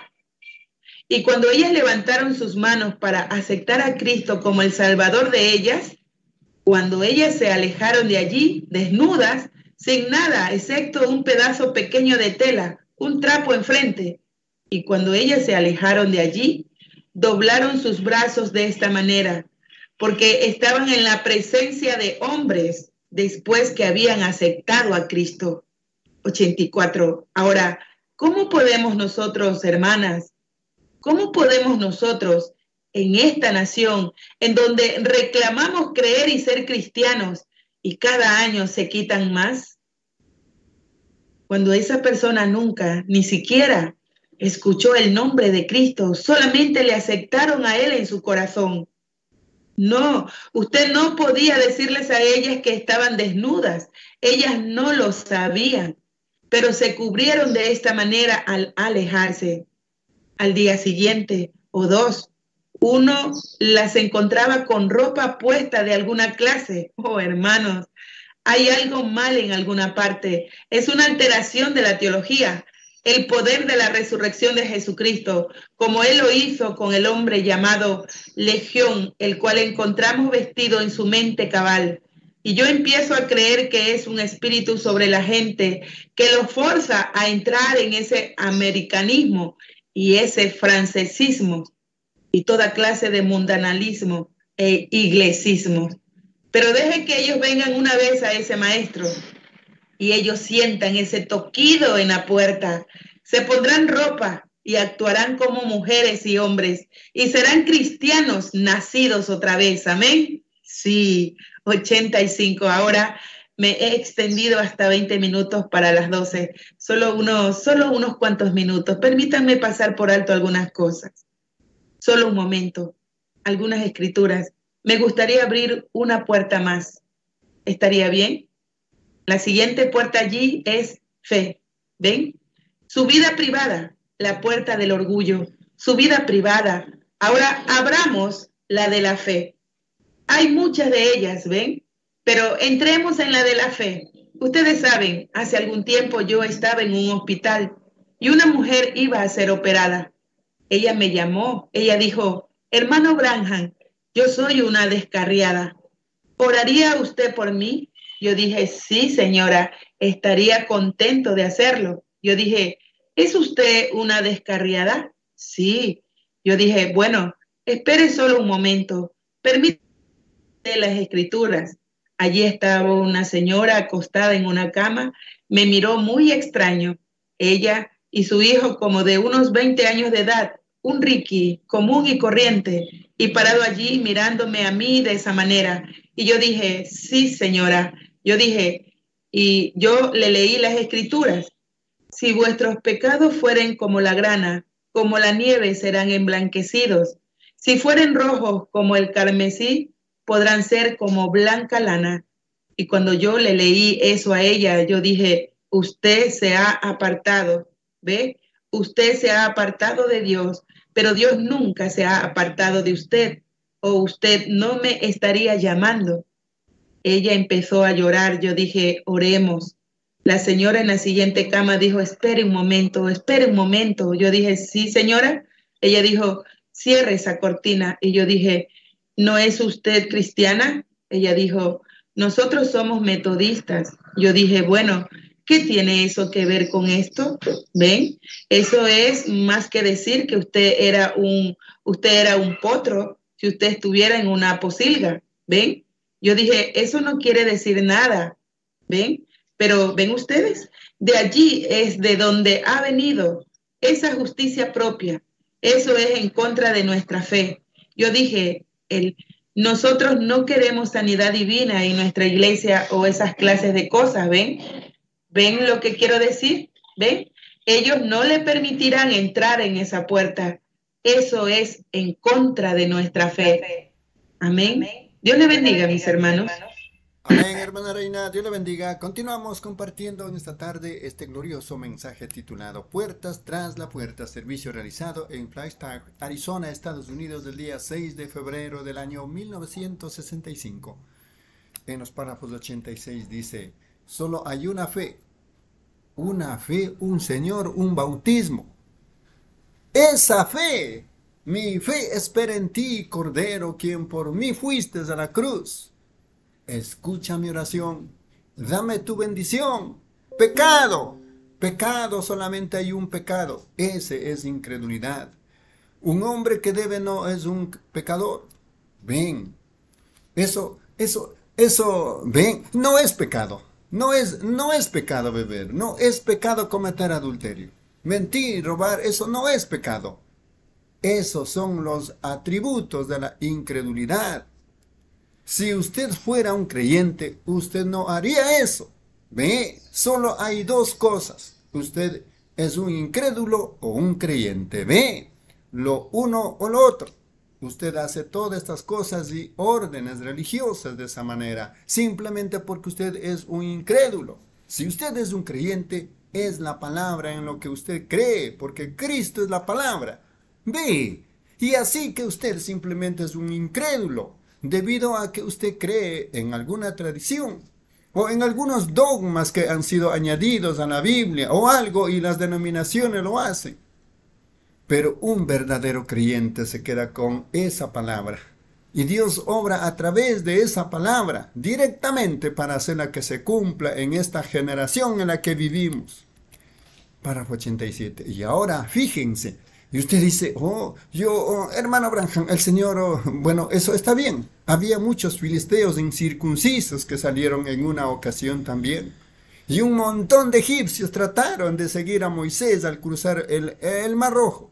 Pero finalmente, como Janes y Jambres se opusieron a Moisés, bueno, encontramos la misma cosa en los últimos días. La Biblia lo dice. Ahora, solo un poquito más. Jesús dijo aquí en esta, esta edad, porque tú dices, yo soy rico y me he enriquecido. Solo miren cómo estamos hoy, lo más rico que la iglesia alguna vez ha estado. Y bueno, ustedes saben, ustedes pentecostales estuvieron mucho mejor si ustedes se hubieran quedado con un pandero en la esquina, como acostumbraban sus padres y madres. Pero ustedes tienen mejores iglesias que el resto de ellos ahora la que está creciendo más rápido en el mundo. Pero ¿en dónde está ese Espíritu de Dios que solía estar entre nosotros? Ustedes dejaron fuera la cosa genuina. Porque tú dices, yo soy rico. Párrafo 88. Recuerden, estos son pentecostales a los que les está hablando, porque la edad pentecostal es la última edad. Ven, todo este avivamiento que hemos tenido, no hay otra organización que esté empezando. No habrá. Este es el fin. El trigo está maduro ahora. Ha venido subiendo a través de las hojas y tallo y forro y ha salido al trigo ahora. Bien, no habrá más. Ellos empezaron con una lluviecita tardía, pero se desvaneció cualquiera otra cosa se desvanecerá también. Ellos, este es el trigo que está saliendo. Ven, fíjense, porque tú dices, yo soy rico y me he enriquecido y de ninguna cosa tengo necesidad. Y no sabes que tú eres un miserable, desventurado, ciego, desnudo y no lo sabes. Por tanto, yo te aconsejo. Oh, hermano, yo toco en tu puerta el hermano Branham toca. La Odisea, yo toco en tu puerta y te aconsejo que vengas a mí y, y compres oro refinado en fuego, vestiduras blancas para que no se descubra tu desnudez. Quítense estas cosas y vístanse como ustedes deberían. Ven, la justicia de Cristo, las palabras, no mi justicia, su justicia. Y yo también te aconsejo que, que vengas obtengas colirio para que unjas tus ojos, para que puedas ver. ¡Colirio! Yo soy un kentuckiano, yo nací allá en las montañas y solíamos tener un lugarcito arriba en, el desván. Y, nosotros niños habíamos hecho una, una escalerita de poste para, por la que subíamos allá en la noche y nos acostábamos. Tenían que poner un pedazo de lona encima de nosotros cuando nevaba. Bueno, las estrellas, el techo viejo de Tajamanil. ¿Cuántos saben lo que es un techo de Tajamanil? Bueno, hermano, ¿por qué no usé mis pantalones de pechera aquí? Estoy como en mi casa. Bien, bueno, ellos tenían un techo viejo de Tajamanil. ¿Cuántos saben lo que es un colchón de paja? Ahora, ¡mire nada más! Me sentía muy religioso respecto a algo y yo pensaba, bueno, creo que estoy como en mi casa ahora. Muy bien. Y yo no conocía otra cosa más hasta que hace unos cuantos años. ¿Cuántos saben lo que es una lámpara vieja? La vieja bombilla. Ustedes saben que tenía la luna llena y el eh, tecolotelado. Ellos acostumbraban que la mano más pequeña de la casa tenía que limpiar esa vieja mantequera. Ustedes saben, yo acostumbraba tomar una, un guardabarros, pues me salpicaba todo. Así que tomaba esa lámpara, la bombilla, y la volteaba al revés para evitar que salpicara. Sí, así fue. Párrafo 90. Ahora, mi abuelito era un trampero. La madre de mi mamá provenía de las reservas indígenas. Él se casó con una muchacha india de las reservas Cherokee, Cherokee, allá en Kentucky y en Tennessee. Ustedes saben dónde, en el Valle Cherokee. Y ellos, él, él cazaba y trampeaba todo el tiempo. Esa era, su, esa era la manera como él se sustentaba. Y nosotros los niños acostábamos allá arriba. Bueno, algunas veces se ponía muy frío. Y esa brisa atravesando por allí cogíamos frío en nuestros ojos. Y, y nuestros ojos se pegaban en la noche. Ustedes saben, mi mamá le llamaba lagaña. Yo no, yo no sé qué es eso, pero el frío se metía en los ojos de uno y agarraban frío.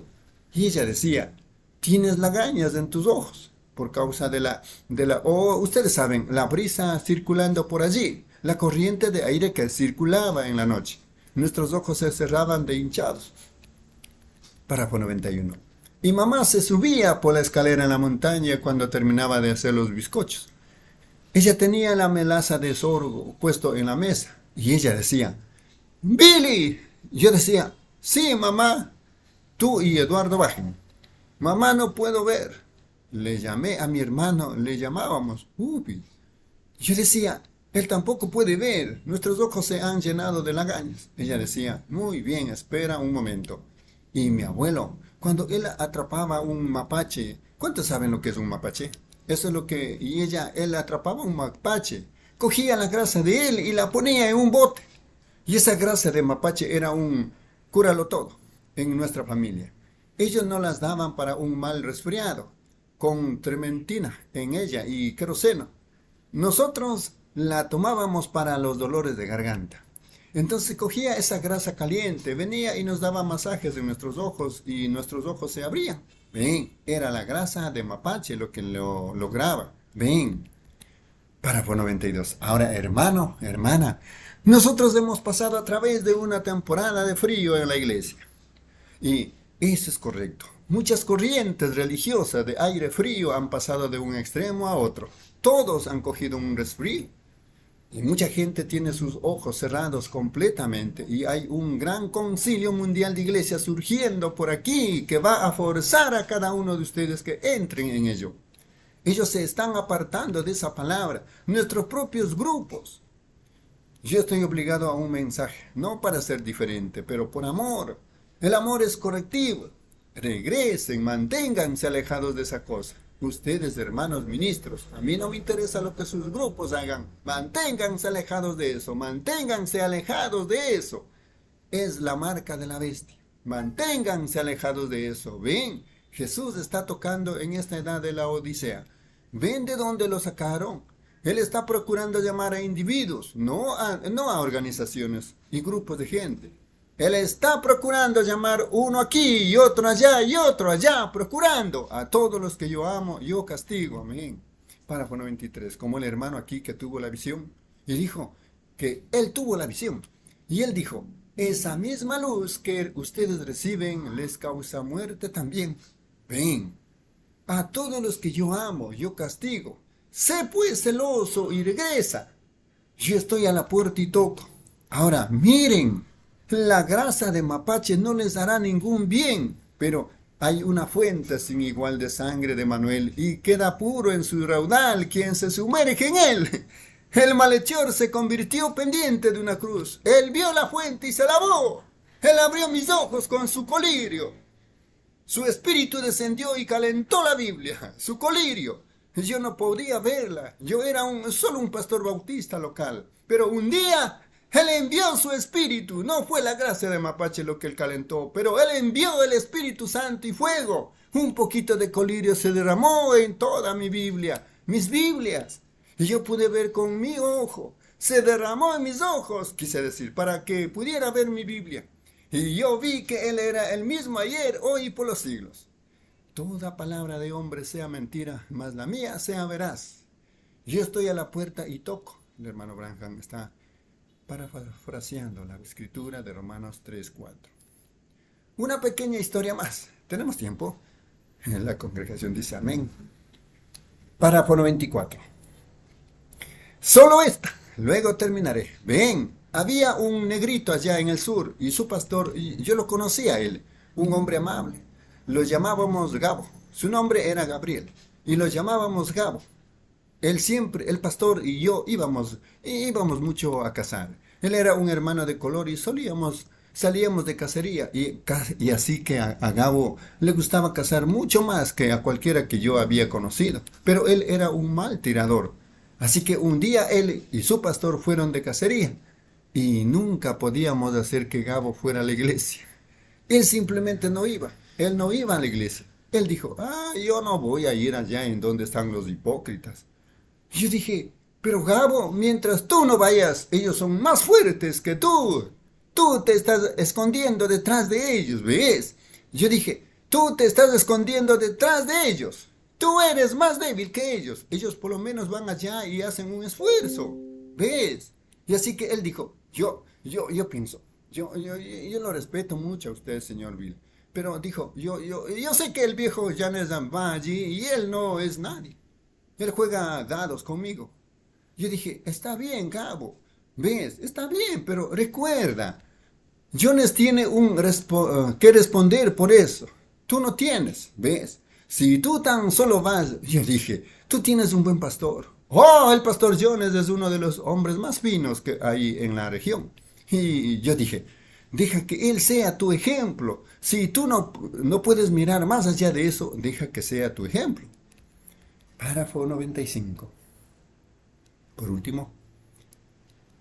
Así que un día el hermano Jones dijo que llevó a Gabo de cacería y dijo, cazamos tantos conejos y aves ese día que casi no podíamos cargarlos. Y dijo, de regreso en la, en la tarde, dijo, Gabo venía caminando detrás y todo cargado, ustedes saben de esa manera. Y su esposa era una verdadera cristiana fiel. Ella iba allí, una mujer llena con el Espíritu Santo, y ella siempre estaba en su puesto del deber. Así que él iba, Gabo venía caminando detrás, ustedes saben. Y el pastor Jones dijo que miró para atrás. Él podía ver que Gabo continuaba mirando sobre su hombro. De esa manera, él solo ocultándose. Dijo, ya estaba para ocultarse, poniéndose frío.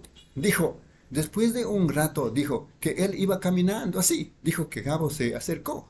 Y él tenía el cañón de su escopeta lleno de conejos colgando de, ah, y de aves y cosas. Dijo, él tocó al pastor en su hombro y dijo, pastor, dijo, él volteó hacia él y dijo, sí, Gabo, ¿qué es lo que pasa? Así que él miró y grandes lágrimas le corrían por sus mejillas negras en donde su barba estaba volviéndose canosa.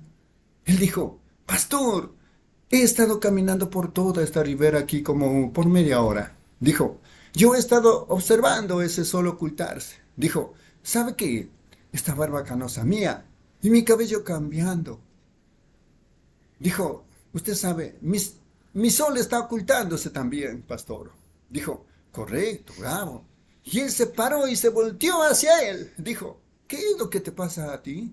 Él dijo, mi sol está ocultándose también. Él dijo, ¿sabe qué? Dijo, yo estaba pensando. Dijo él, mientras venía caminando allá atrás. Él dijo, ¿sabe usted? Dijo, el Señor me ha de amar. Dijo, seguro, Él te ama, Gabo. Dijo, usted sabe, yo soy un mal tirador. Dijo, yo no podría pegarle a nada. Pero dijo, nosotros, nosotros realmente necesitábamos esta carne en casa. Y dijo, solo mire qué tan buena casa él me dio, estas aves y estos conejos. Él dijo, yo tengo lo, bastante como para mantenernos toda la próxima semana.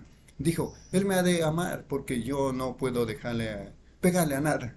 Usted sabe, dijo, yo no pudiera haberle pegado, pero solo mire lo que él me ha dado. Él dijo, él me ha de amar o él no me hubiera dado esto. Dijo, correcto. Amén, hermanos y hermanas.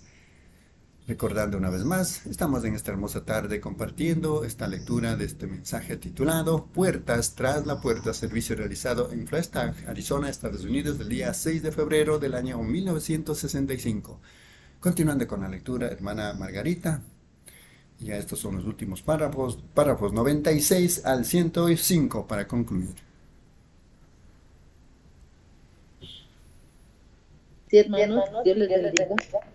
Continuamos la lectura de, estos gloriosos mensajes, puertas tras las puertas.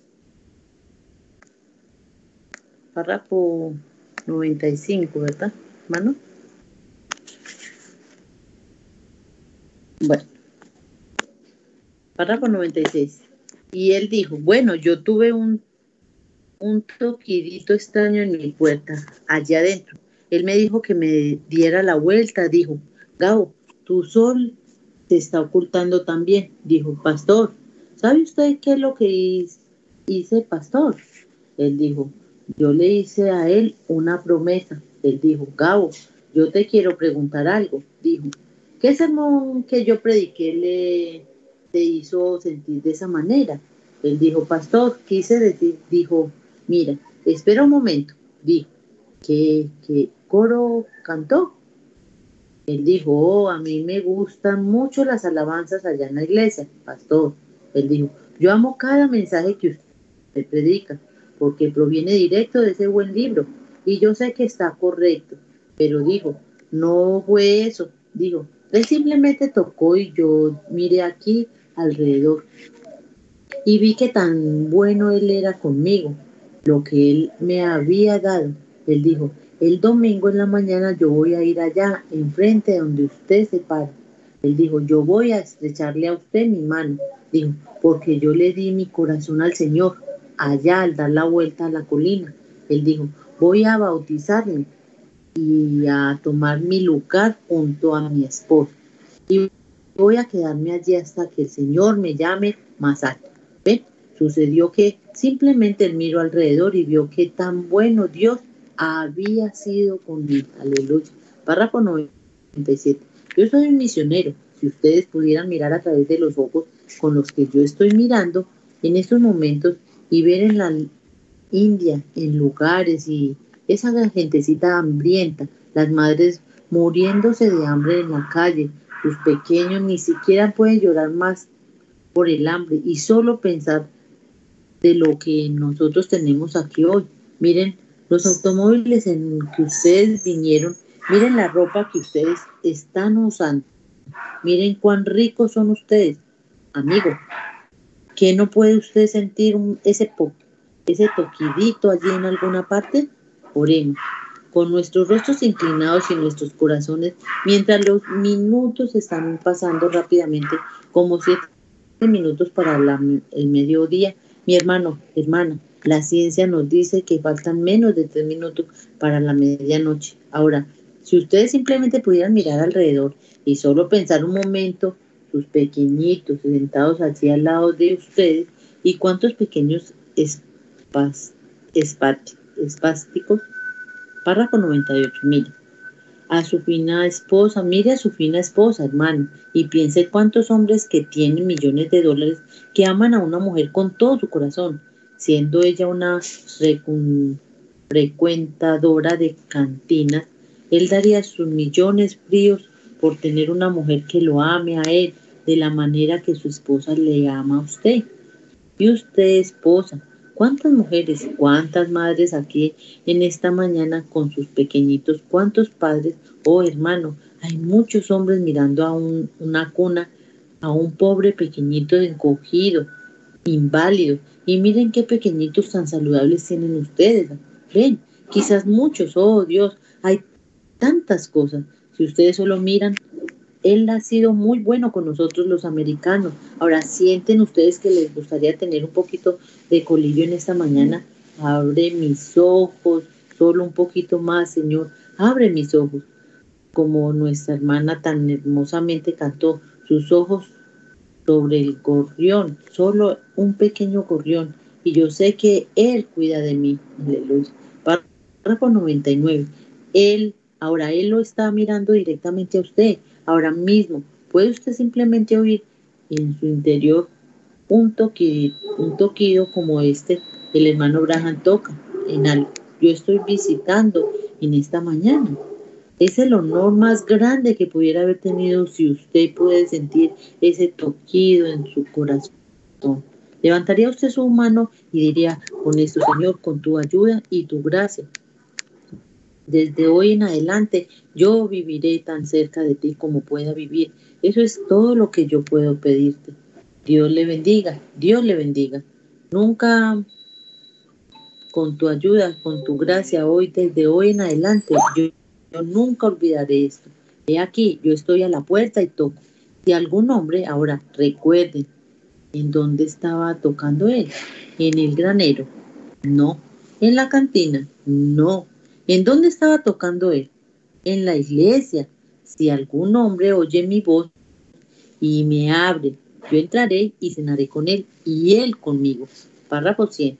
Amado Dios, estas cosas, estas pocas palabritas entrecortadas, mezcladas que se han dicho en esta mañana de alguna manera, permíteme que el Espíritu Santo las interprete en los corazones de la gente. Ahora, habían muchas, Señor, quizás 20 o 30 personas de estas 100 aquí que levantaron las manos. Yo no tengo manera de saber exactamente lo que ellas necesitan, Señor, pero yo sé que faltan unos cuantos minutos para el medio y, y mediodía y así es la venida del Señor. Sin embargo, que antes que esta nieve se derrita de la tierra, podamos ser llamados y este puede ser el momento que cambiará todo el futuro de ellos, de ser dejados aquí o irse arriba. Amado Dios, humildemente aceptamos a Jesús, aceptamos todas sus palabras. Llénanos, Señor, llénanos con tu Espíritu Santo para que nuestras vidas automáticamente del fruto concédelo, Señor. Perdona nuestros muchos errores. Oh, estamos tan llenos de ellos, Señor. Y no tenemos nada con que podamos ofrecer, Señor, porque todo lo que tenemos, tú nos lo has dado. Como Gabo dijo en la pequeña historia que acabamos de contar. Tú, tú de seguro nos amas, Señor. Oh, tú no harías esto. Y pensar que estas personas sentadas aquí, desde temprano esta mañana, sentadas aquí, desde las 8, son cuatro horas de las que tienen sentadas aquí. Ellos te aman, Señor, te aman ahora, Padre. Mandarás el colillo del Espíritu Santo para abrir nuestros ojos. Permite que nosotros, párrafo 101, estos quienes están aquí en la ciudad, que ellos se apresuren a ir a ese avivamiento en esa noche, que haya allí un gran derramamiento. Concelo, Señor, que una un avivamiento chapado a la antigua empiece aquí en la ciudad con celo, bendice a cada hombre que está esforzándose, a cada uno de tus siervos, por todo el mundo, que están esforzándose, esté con ellos, Señor, y ayúdales, abre nuestros ojos para que podamos ver más y más la semejanza de Cristo. Concédelo, Señor, perdona nuestros pecados. Y ahora estamos que estos que levantaron sus manos, Padre, yo los encomiendo a ti. Recíbelos ahora, yo cito tu propia palabra, Señor, que dice, cielos y tierras fallarán, pero tú dijiste, Él, lo cual es un pronombre personal, el que oye mis palabras. Señor, ellas pudieran haber sido entrecortadas y sencillas, pero alguien las oyó. La simiente cayó y el que escucha mis palabras y conjunción cree en el que me envió, porque Él hizo esto. Él tiene tiempo presente, vida eterna, y no vendrá en el futuro al juicio, sino que ha pasado de muerte a vida. Aleluya. Ellos levantaron sus manos, Señor. Ellos rompieron toda ley científica. La gravitación mantiene nuestras manos abajo, pero ellos probaron que hay un espíritu en ellos, que podía escuchar un toquido en la puerta y extender su mano derecha hacia el cielo. Ahora abre la puerta, abre, Señor, y entra. Somos tuyos, recíbenos en el nombre de Jesucristo. Amén. Yo le amo, yo le amo porque Él a mí me amó y me compró mi salvación allá en la cruz. Párrafo 102. Le aman. Me pregunto si pudiéramos solo cerrar nuestros ojos por un momento. Ahora, de nuestros corazones, con nuestras manos levantadas, yo le amo, yo le amo porque estamos aceptando tu toquido en esta mañana, Señor. Mis manos levantadas, todas nuestras manos están levantadas, Señor. Y ahora entra, Señor Jesús, entra a nuestro corazón y cena con nosotros y cenaremos contigo allá en la cruz. ¿Le aman? Oh, yo pienso que Él es tan maravilloso. ¿No creen ustedes? ¿No sienten ustedes su presencia como que lo restriega? Me siento muy religioso ahorita mismo. Me siento muy bien. Algo respecto. Ven, mi fe espera en ti, Cordero, quien por mí fuiste a la cruz. Escucha mi oración. Dame tu bendición. Llena mi corazón tu santa luz. Párrafo 103. Ahora quiero que cuando tararemos la estrofa siguiente de este himno hermoso, himno antiguo de la iglesia, quiero que la estrechen a la mano, la mano a alguien. Permanezcan en sus asientos, solo digan, Dios le bendiga, hermano, Dios le bendiga, hermana. Estoy muy contento de estar aquí con ustedes. Hagamos eso, el hermano Bran y la congregación tararea. Mi fe espera en ti y estreche la mano a alguien. Dios le bendiga, claro. Estoy contento de estar aquí. Yo le estoy disfrutando. Gracias. Gracias. Solo piénselo. Manos metodistas agarraron manos pentecostales. Manos bautistas agarraron manos presbiterianos. Llene mi corazón, tu santa luz. Párrafo 104. Ahora, mientras también le cantamos lentamente de lo profundo de nuestro corazón, ustedes saben, después de un mensaje restregrador y reprensivo, yo creo que es bueno entrar en el Espíritu y cantar la dulzura del Espíritu Santo. Oh, cuán dulces habitar los hermanos en unidad. La Biblia dice, es como el buen óleo que estaba en la barba de Aarón, que baja hasta el borde de la vestidura. El hermano Abraham parrafasea, Salmo 144, versículo 1 y 233.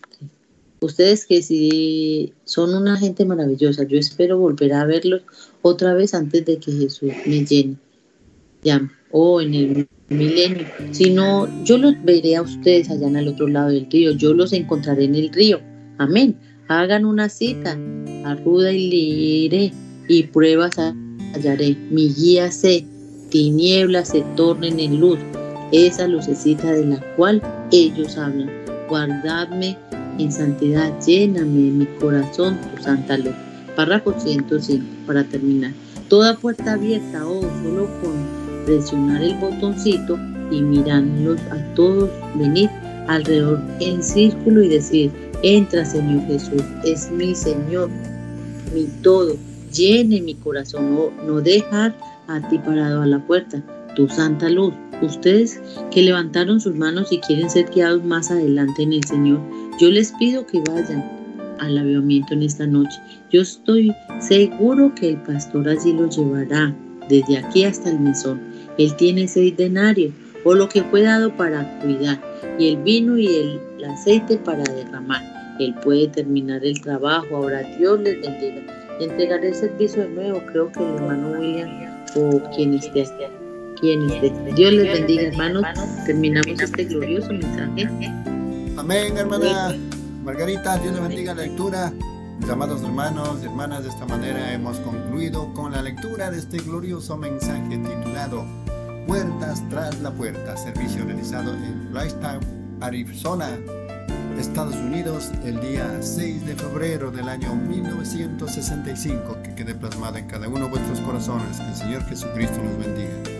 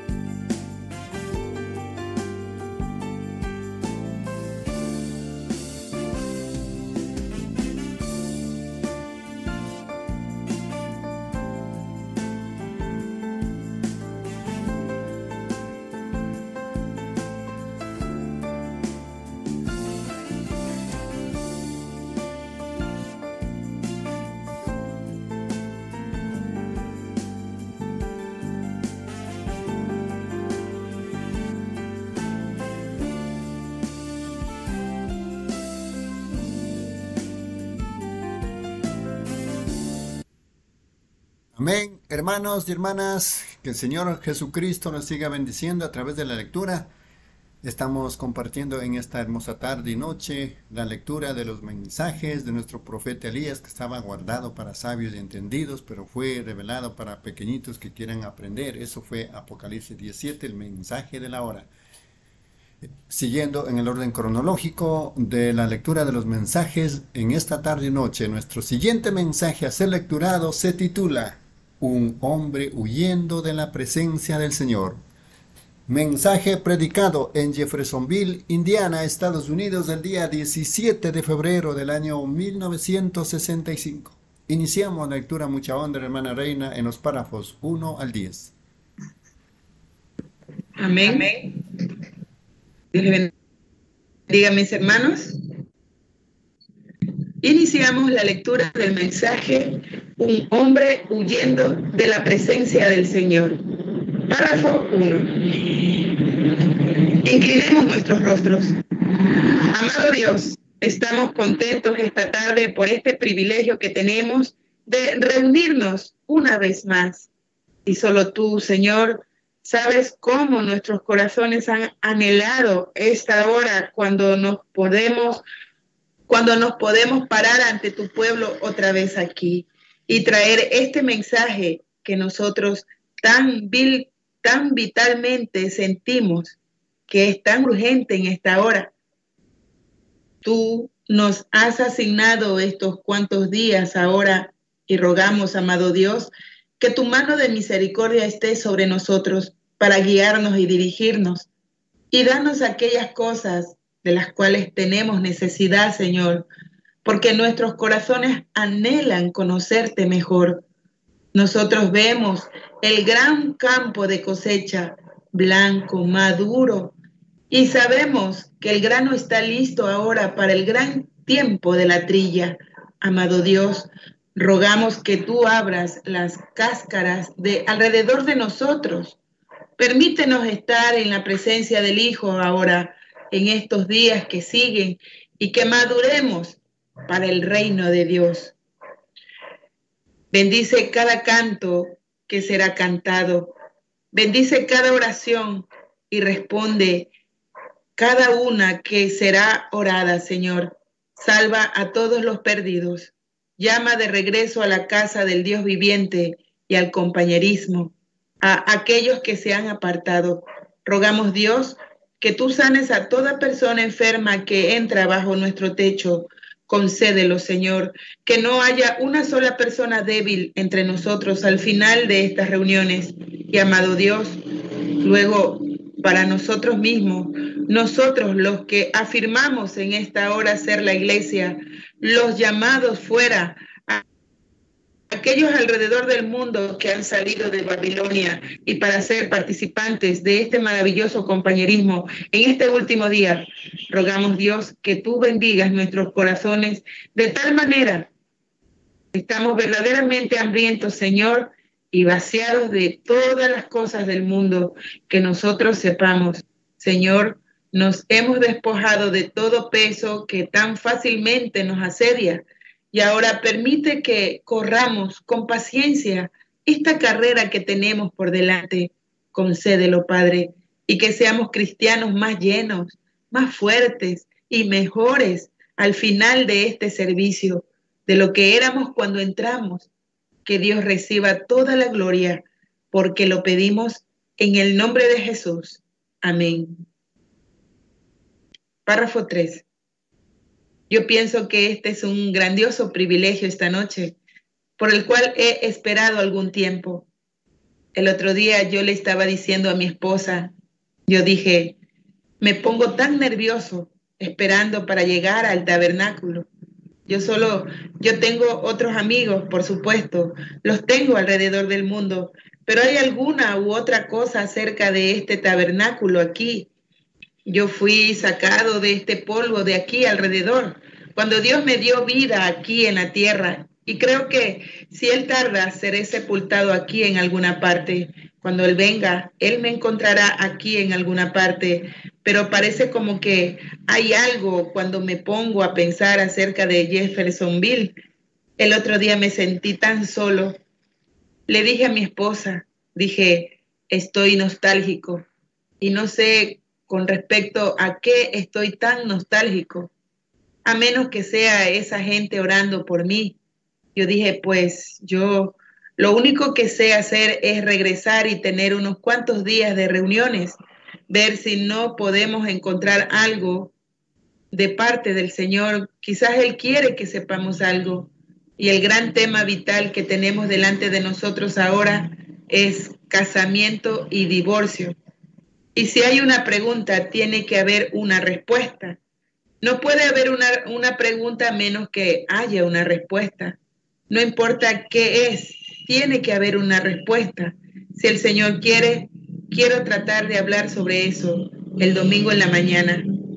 Y luego mañana en la noche creo que debemos estar aquí en la, ¿cómo se llama esa escuela? El hermano Neville dice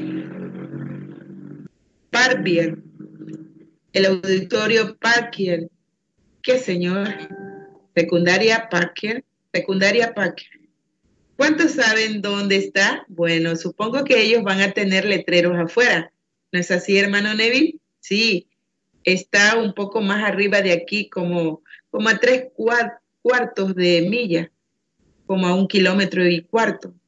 Y va a haber un letrero. Ustedes doblan saliéndose de la carretera. Es un bonito edificio elevado.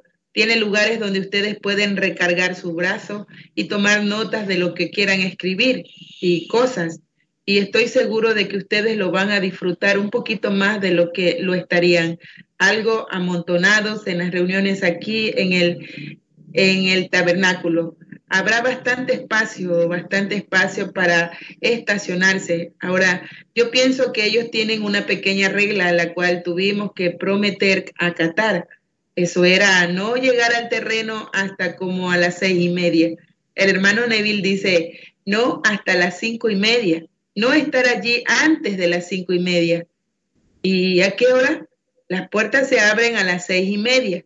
Creo que sería una buena idea que nosotros lleguemos allí a las seis y media. Ahora, ellos tienen otro auditorio aquí en la ciudad en el que se pueden sentar seis mil si nos comportamos bien en este, quizás ellos nos permitan usar el otro alguna vez para una reunión grande. Quizás alguna vez este verano cuando yo regrese de ultramar. Y así que yo creo que podemos sentar hasta... ¿A cuántos podemos sentar allá? El hermano Neville dice, podemos sentar cuatro mil. Cuatro mil. Así que, ¿ven ustedes? Vamos a tener bastante espacio. No habrá prisa.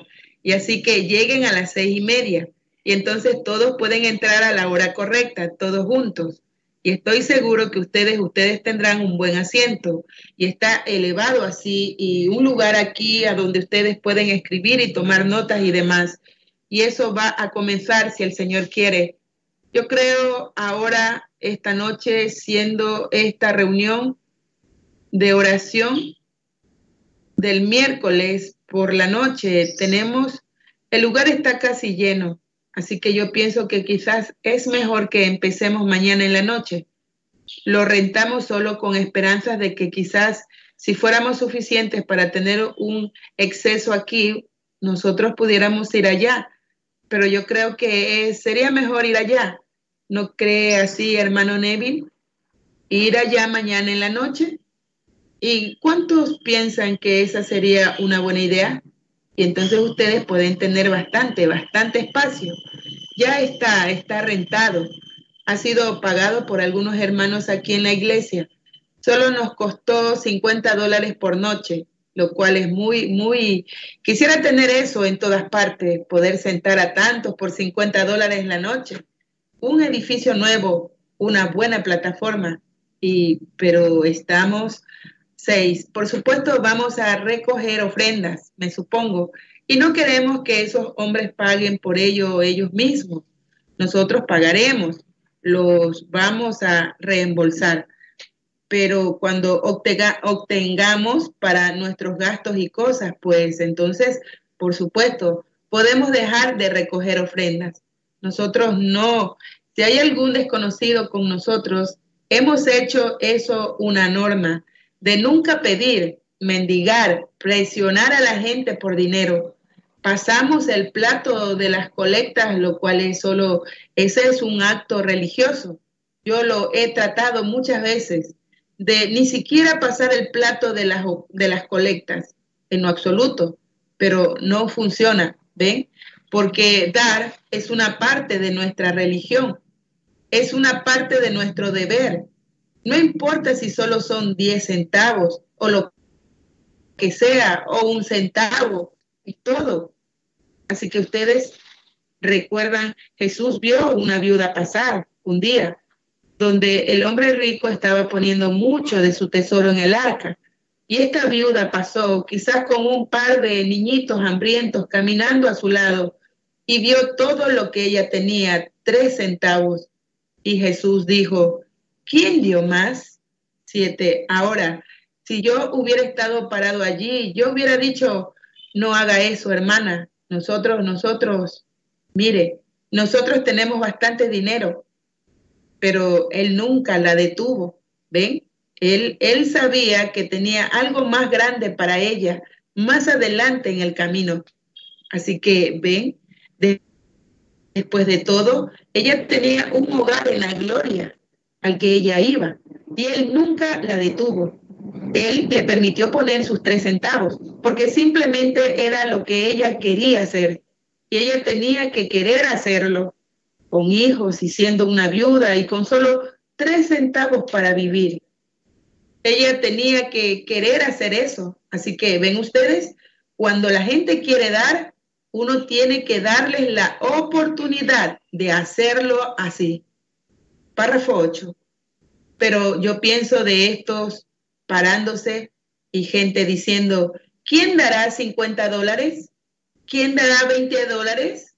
Yo pienso que eso es perjudicial para la, para la inteligencia de uno. Yo, yo, pienso que la gente se da cuenta que se necesita dinero para, para llevar a cabo una reunión.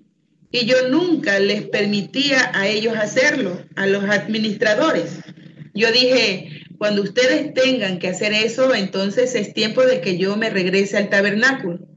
Así que no tendremos que hacer eso. Pero yo yo pienso que tenemos que pasar el plato de las ofrendas para, para poder hacerlo un servicio religioso completo. Y si y así que ellos probablemente pasarán un platito para ofrendas cada noche, diciendo algo como, bueno, nosotros recogeremos la ofrenda ahora y ellos pasarán el plato de la ofrenda y ese será el fin de ellos.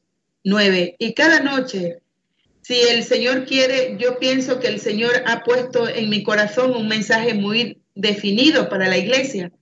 Yo he estado varios días en oración y no entraré en eso porque un gran fenómeno sucedió el otro día que fue realmente grande. Estoy ansioso de contarles acerca de ello.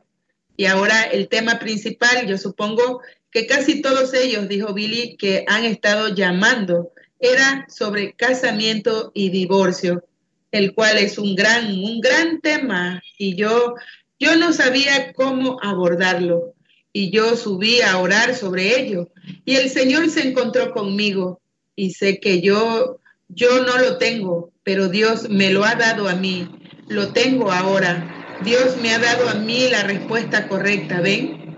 ¿Ven? Y yo sé que eso es verdad. Y así que todavía no sé exactamente, quizás el domingo yo lo pudiera pedir a nuestras hermanas que omitan la reunión ellas mismas, pero yo, yo no sé, dependería si las mujeres casadas quieren venir con sus esposos. Hay, hay algunas cosas realmente vitales que tienen que ser dichas, la verdad acerca de ellas y cómo y así que queremos absolutamente exponerlo de así dice el Señor. Entonces ustedes lo tienen. Ustedes saben exactamente qué es la, qué es la verdad entonces. Y estoy confiando que Él hará eso. Párrafo 10. Y ahora yo estaba aquí arriba en el restaurante el otro día comiendo y Jerry y todos ellos los están esperando a todos ustedes. Ellos dijeron, dijeron, bueno, nosotros, algunos, uno de los muchachos estaba allá arriba, dijo, este hombre dijo, a mí me va a ir muy bien esta semana. Dijo, ellos tienen estas próximas dos semanas, dijo, ellos tienen una reunión aquí de baloncesto o una u otra cosa. Dijo, entonces dijo, Branham está allí, van a tener una reunión. Él dijo, voy a alimentar a una gran cantidad de gente en el ranch Houston, Houston, uno de esos lugares allá arriba. Y ellos estaban, han sido verdaderamente amables. Y yo los aprecio a todos ustedes, porque ellos ciertamente alardearon y dijeron cosas buenas acerca de ustedes. El administrador allá arriba en el rancho House se encontró conmigo la otra mañana. Yo llegué como a las dos y media de Arizona y él dijo, pues hermano Branham, dijo, yo escuché que usted va a tener una reunión. Dijo, conseguí un poco de ayuda adicional, dijo él. Y dijo, entonces yo quiero decir una cosa, que esa gente que viene de allá abajo, dijo, ellos verdaderamente son gente amable. Ahora, eso me hizo sentirme muy bien acerca de ustedes, ¿ven? porque después de todo siento como que son mis niños. En inglés se usó la palabra kid, que significa tanto niño como cabrito. Y yo, yo, o hijos, mejor dicho. Y así que yo, cabrito se refiere a una cabra. Y ustedes no son cabras, ustedes son mis corderos. ¿Qué les parece eso? Ustedes son los corderos del Señor que Él me ha permitido alimentar. Y confío que ellos ello que Él me permitirá hacer, eso. Nosotros, vamos, por el, camino. Amén. Dios le bendiga, mis hermanos. Amén, hermana reina, Dios le bendiga la lectura, recordando que hemos iniciado en esta tarde y noche la lectura y compartiendo un nuevo mensaje titulado Un hombre huyendo de la presencia del Señor, servicio realizado en Jeffersonville, Indiana, Estados Unidos, el día 17 de febrero del año 1965. Continuando con la lectura, hermana Margarita, por favor, en los párrafos 11 al 20.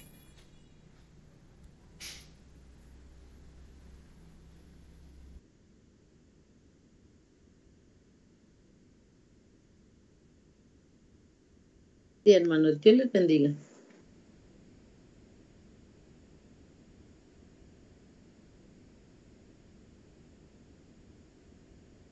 Continuamos la lectura de sus grandiosos y gloriosos mensajes del año 65 0217 un hombre un hombre huyendo de la, presencia del Señor 65 0217 párrafo 11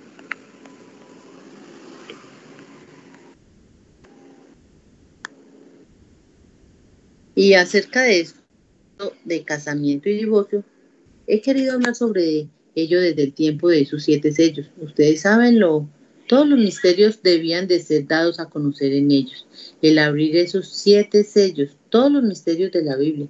Y estoy pensando, ahora estoy poniéndome más o menos viejo. Yo pienso que yo, yo, yo pensé que sería mejor por lo menos ponerlo en cinta, ya sea si algo me sucediera a mí. Entonces, la iglesia pudiera preguntarse, me pregunto qué tenía él en su mente, qué diría él, y todos esos temas que parecen ser tan difíciles. Yo pienso que la, con la ayuda del Señor yo voy a, voy a tratar de traérselos a ustedes. Y entonces, entonces si algo sucede y si sucediera que yo me fuera antes de que Él venga, ustedes, ustedes entonces lo tendrán registrado. Párrafo 12. Yo creo que es como algunos, mm, algunos libros nuevos. Yo veo a la hermana Bailey, yo no sé si el doctor está aquí o no. ¿Está aquí la hermana Bailey? Él probablemente está en la reunión, no lo veo, pero oh, sí, allá muy atrás, el hermano Bailey ha escrito un libro y es uno, yo pensaba que, que yo pensaba, creo que ellos dijeron hoy dos hermanos Bailey. ¿Es correcto eso? ¿Tiene usted dos aquí ahora? ¿Dos libros? Ahora, yo no sé, yo como yo lo entiendo es que cada persona recibirá una copia, así que yo, si ustedes de esa manera lo entiendo, yo pudiera estar equivocado en eso y luego las siete edades de la iglesia han, han sido terminadas. ¿Es correcto eso, hermano Beli? Y están impresas ahora y yo sé que usted, ustedes querrán obtenerlas, pero respondan muchas preguntas porque responden muchas preguntas que han estado en sus corazones y luego después de eso pues vamos a tratar de poner los siete sellos abiertos, a ustedes saben, en el libro para que cada uno pueda leerlos en la forma que ellos, que ellos quieren que puedan entenderlo y estudiarlo. Yo creo que cuando sea escrito, sí, párrafo 3, primero lo sacamos directamente de la cinta tal y como fue escrito a hablar. O ustedes saben, uno puede predicar un sermón, esa es una cosa, y luego escribir un libro es otra, ¿ven? Por ejemplo, si sucediera que yo tocara un tema, por ejemplo, yo les diría a ustedes, ustedes entenderían, yo diría, ahora, la simiente de la serpiente, ¿ven? Bueno, ahora el lector de ese libro, si usted sacara eso, se preguntaría, ¿qué es la simiente de la serpiente? ¿Ve? Eso se preguntaría, ¿qué es la simiente de la serpiente? ¿Ven?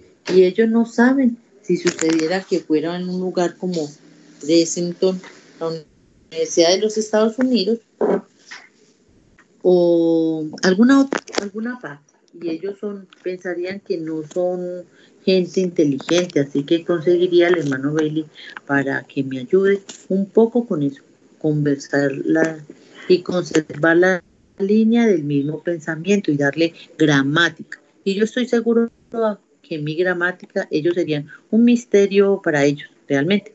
Así que el hermano Bailey es verdaderamente bueno en eso. Así que él es como un párrafo 14. Y luego en eso yo creo que nuestro precioso hermano Bailey debe haber captado un poquito de inspiración adicional de alguna manera. Y él dijo que él iba a escribir un par de libros suyos como a raíz de ellas. Y así que él escribió uno llamado, creo, El Profeta del siglo XX y otro Iglesia de la la iglesia de la Odisea, creo algo así. Y Billy me dijo que esta noche, creo que varios miles de ellos llegaron hoy.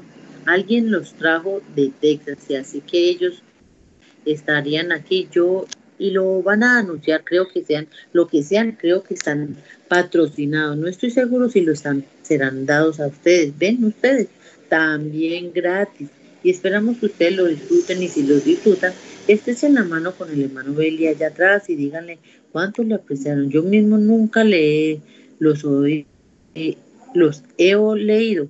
Si yo lo leyera, pudiera cambiar de idea acerca de eso. Así que trataré de leerlos esta semana mientras tenga una oportunidad. Si puede, párrafo 15. Ahora, siendo miércoles por la noche, nuestra reunión no oficialmente comienza mañana en la noche, pero yo creo, estando aquí entre ustedes, yo, yo simplemente no podía quedarme allá en la casa y saber que todos ustedes estaban aquí y yo soy así como ustedes saben, como si algunos de sus parientes llegaran, ustedes saben, y ustedes corrieran hasta el final de la calle a encontrarlos, ustedes saben, y yo, yo pensé que simplemente vendría acá y les daría a ustedes la bienvenida a Jeffersonville, así como que esta última semana yo como no es, no, discúlpeme, fue hace como tres semanas. Yo llegué a casa, yo había estado fuera tratando de, había estado en unas reuniones, había estado en unas reuniones allá atrás en Arizona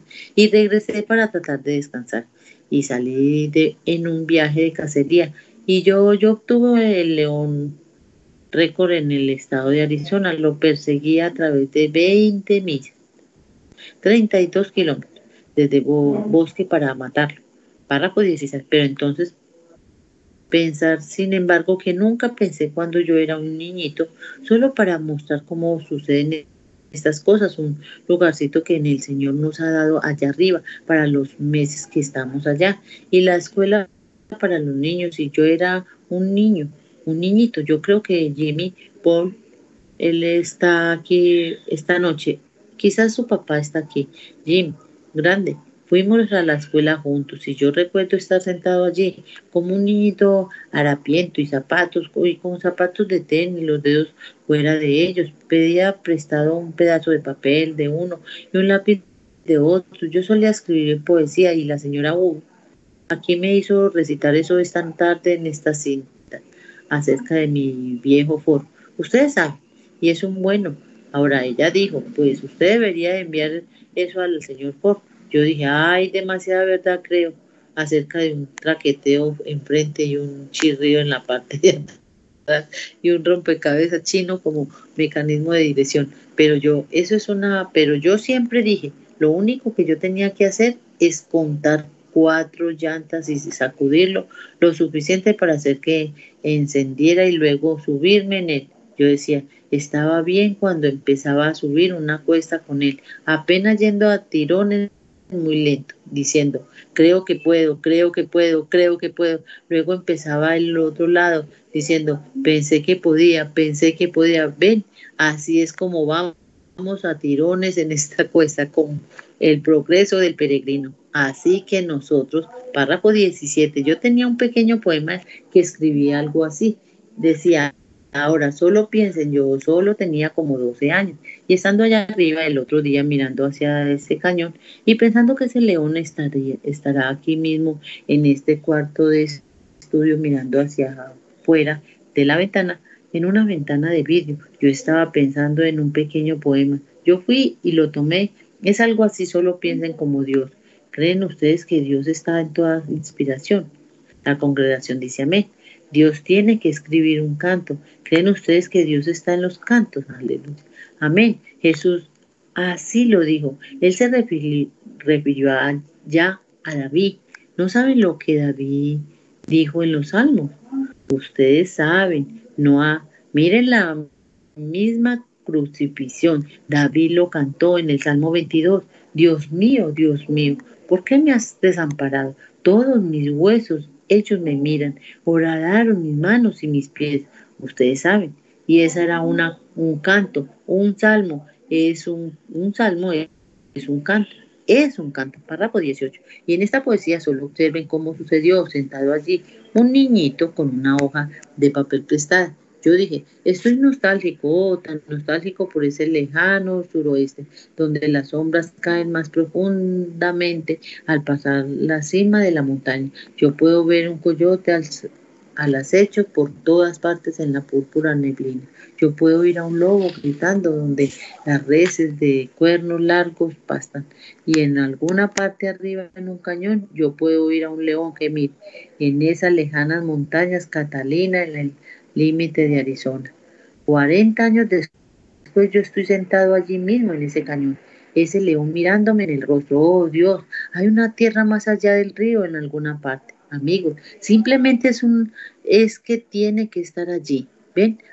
Hay hay demasiado hablando de ella. Todas estas cosas no son solo mitos, son son reales, son realidades. Estoy tan contento de estar aquí esta noche, de estar con esta gente con la que estoy esperando vivir allá para siempre, aleluya, donde ya no habrá enfermedad o muerte o separaciones y viajar no será nada para nosotros entonces, aleluya. Párrafo 20. Ahora yo pienso que ninguna reunión es completa sin leer la palabra y tener una pequeña hermano Neville. Yo simplemente subí aquí arriba. Billy dijo que usted quería que yo hablara. ¿Era correcto eso, hermano Neville? El hermano Neville dice, amén, sí, sí, sí, seguro. Quizás he dado un poquito demasiado por sentado, pero yo, yo simplemente me sentí tan bien al respecto, pues amén, seguro, siéntese. Así que ahora ustedes que tienen cantos y cosas, vean el hermano Neville cuando ustedes vayan a cantar y luego simplemente que se haga allá arriba y tengamos solo un preliminar como de media hora y entraremos directamente en estos mensajes muy profundos y veamos qué podemos ver que va a hacer el Señor. Y yo solo confío, párrafo 21, hermanos. Dios les bendiga. Amén, hermana Margarita. Dios le bendiga la lectura. Recordando una vez más, estamos lecturando en esta tarde y noche este glorioso mensaje titulado Un hombre huyendo de la presencia del Señor. Servicio realizado en Jeffersonville, Indiana, Estados Unidos, día 17 de febrero del año 1965. Continuando con la lectura, párrafo 21 dice yo, yo creo que tenemos verdad. Yo estoy satisfecho de eso. Y yo creo que el trigo está, absolutamente, la cáscara se está separando de él. Ustedes saben. Y ven, yo quizás dé un pequeño preludio sobre eso mañana en la noche. Ven, cómo la cáscara se está separando del trigo. Pero el trigo tiene que permanecer en la presencia del Hijo para madurar. Y para eso estamos aquí, amigo. Quédense en la presencia del Hijo hasta que nuestro grupito de gente aquí, hasta que llegue a estar tan maduro para Cristo, que llegue a ser pan sobre su mesa. Eso es lo que yo quiero que haga. Y ahora, antes de abordar la palabra, después de recitar poemas y demás, oremos de nuevo. Luego vamos a tomar un texto. Párrafo 22. Amado Jesús, ayúdanos ahora esta noche en estas cuantas palabras mientras esperamos en ti. Y rogamos que tu gracia y misericordia estén con nosotros, Señor. Y esternece nuestros corazones. Quita todas las cáscaras, las espinas, los cardos. Permite que la bendita luz del sol de Dios caiga sobre la palabra, Señor. Y que tengamos una reunión tan grande al grado que no haya una persona que no sea salva entre nosotros. Todos los hijos estarán en el reino de Dios aquellos sin el bautismo del Espíritu que lo reciban, Padre. Que todos los grandes misterios que debemos que de conocer en esta edad, Señor, sean revelados a nosotros y veremos la sencillez de Dios para que sepamos cómo comportarnos y actuar, corrigiéndonos y trayendo los miembros de nuestro cuerpo a disciplina la palabra para que sepamos cómo vivir en este día presente en el acercamiento del Señor Jesús mientras yo leo de tu palabra esta noche. Señor, yo quizás por medio de una educación parcial pudiera leer en alguna de las palabras y quizás pronunciar mal otras. Pero, Señor, Dios, solamente tú puedes sacar el contexto de allí. Tú eres el único que puede hacerlo. No, no hay manera de que un ser humano lo haga alguna vez. Está en tus manos, Señor. Así que damos, danos cada noche aquellas cosas que están escondidas en tu palabra para que podamos ser mejores cristianos y vivamos de acuerdo al tiempo en que estamos viviendo.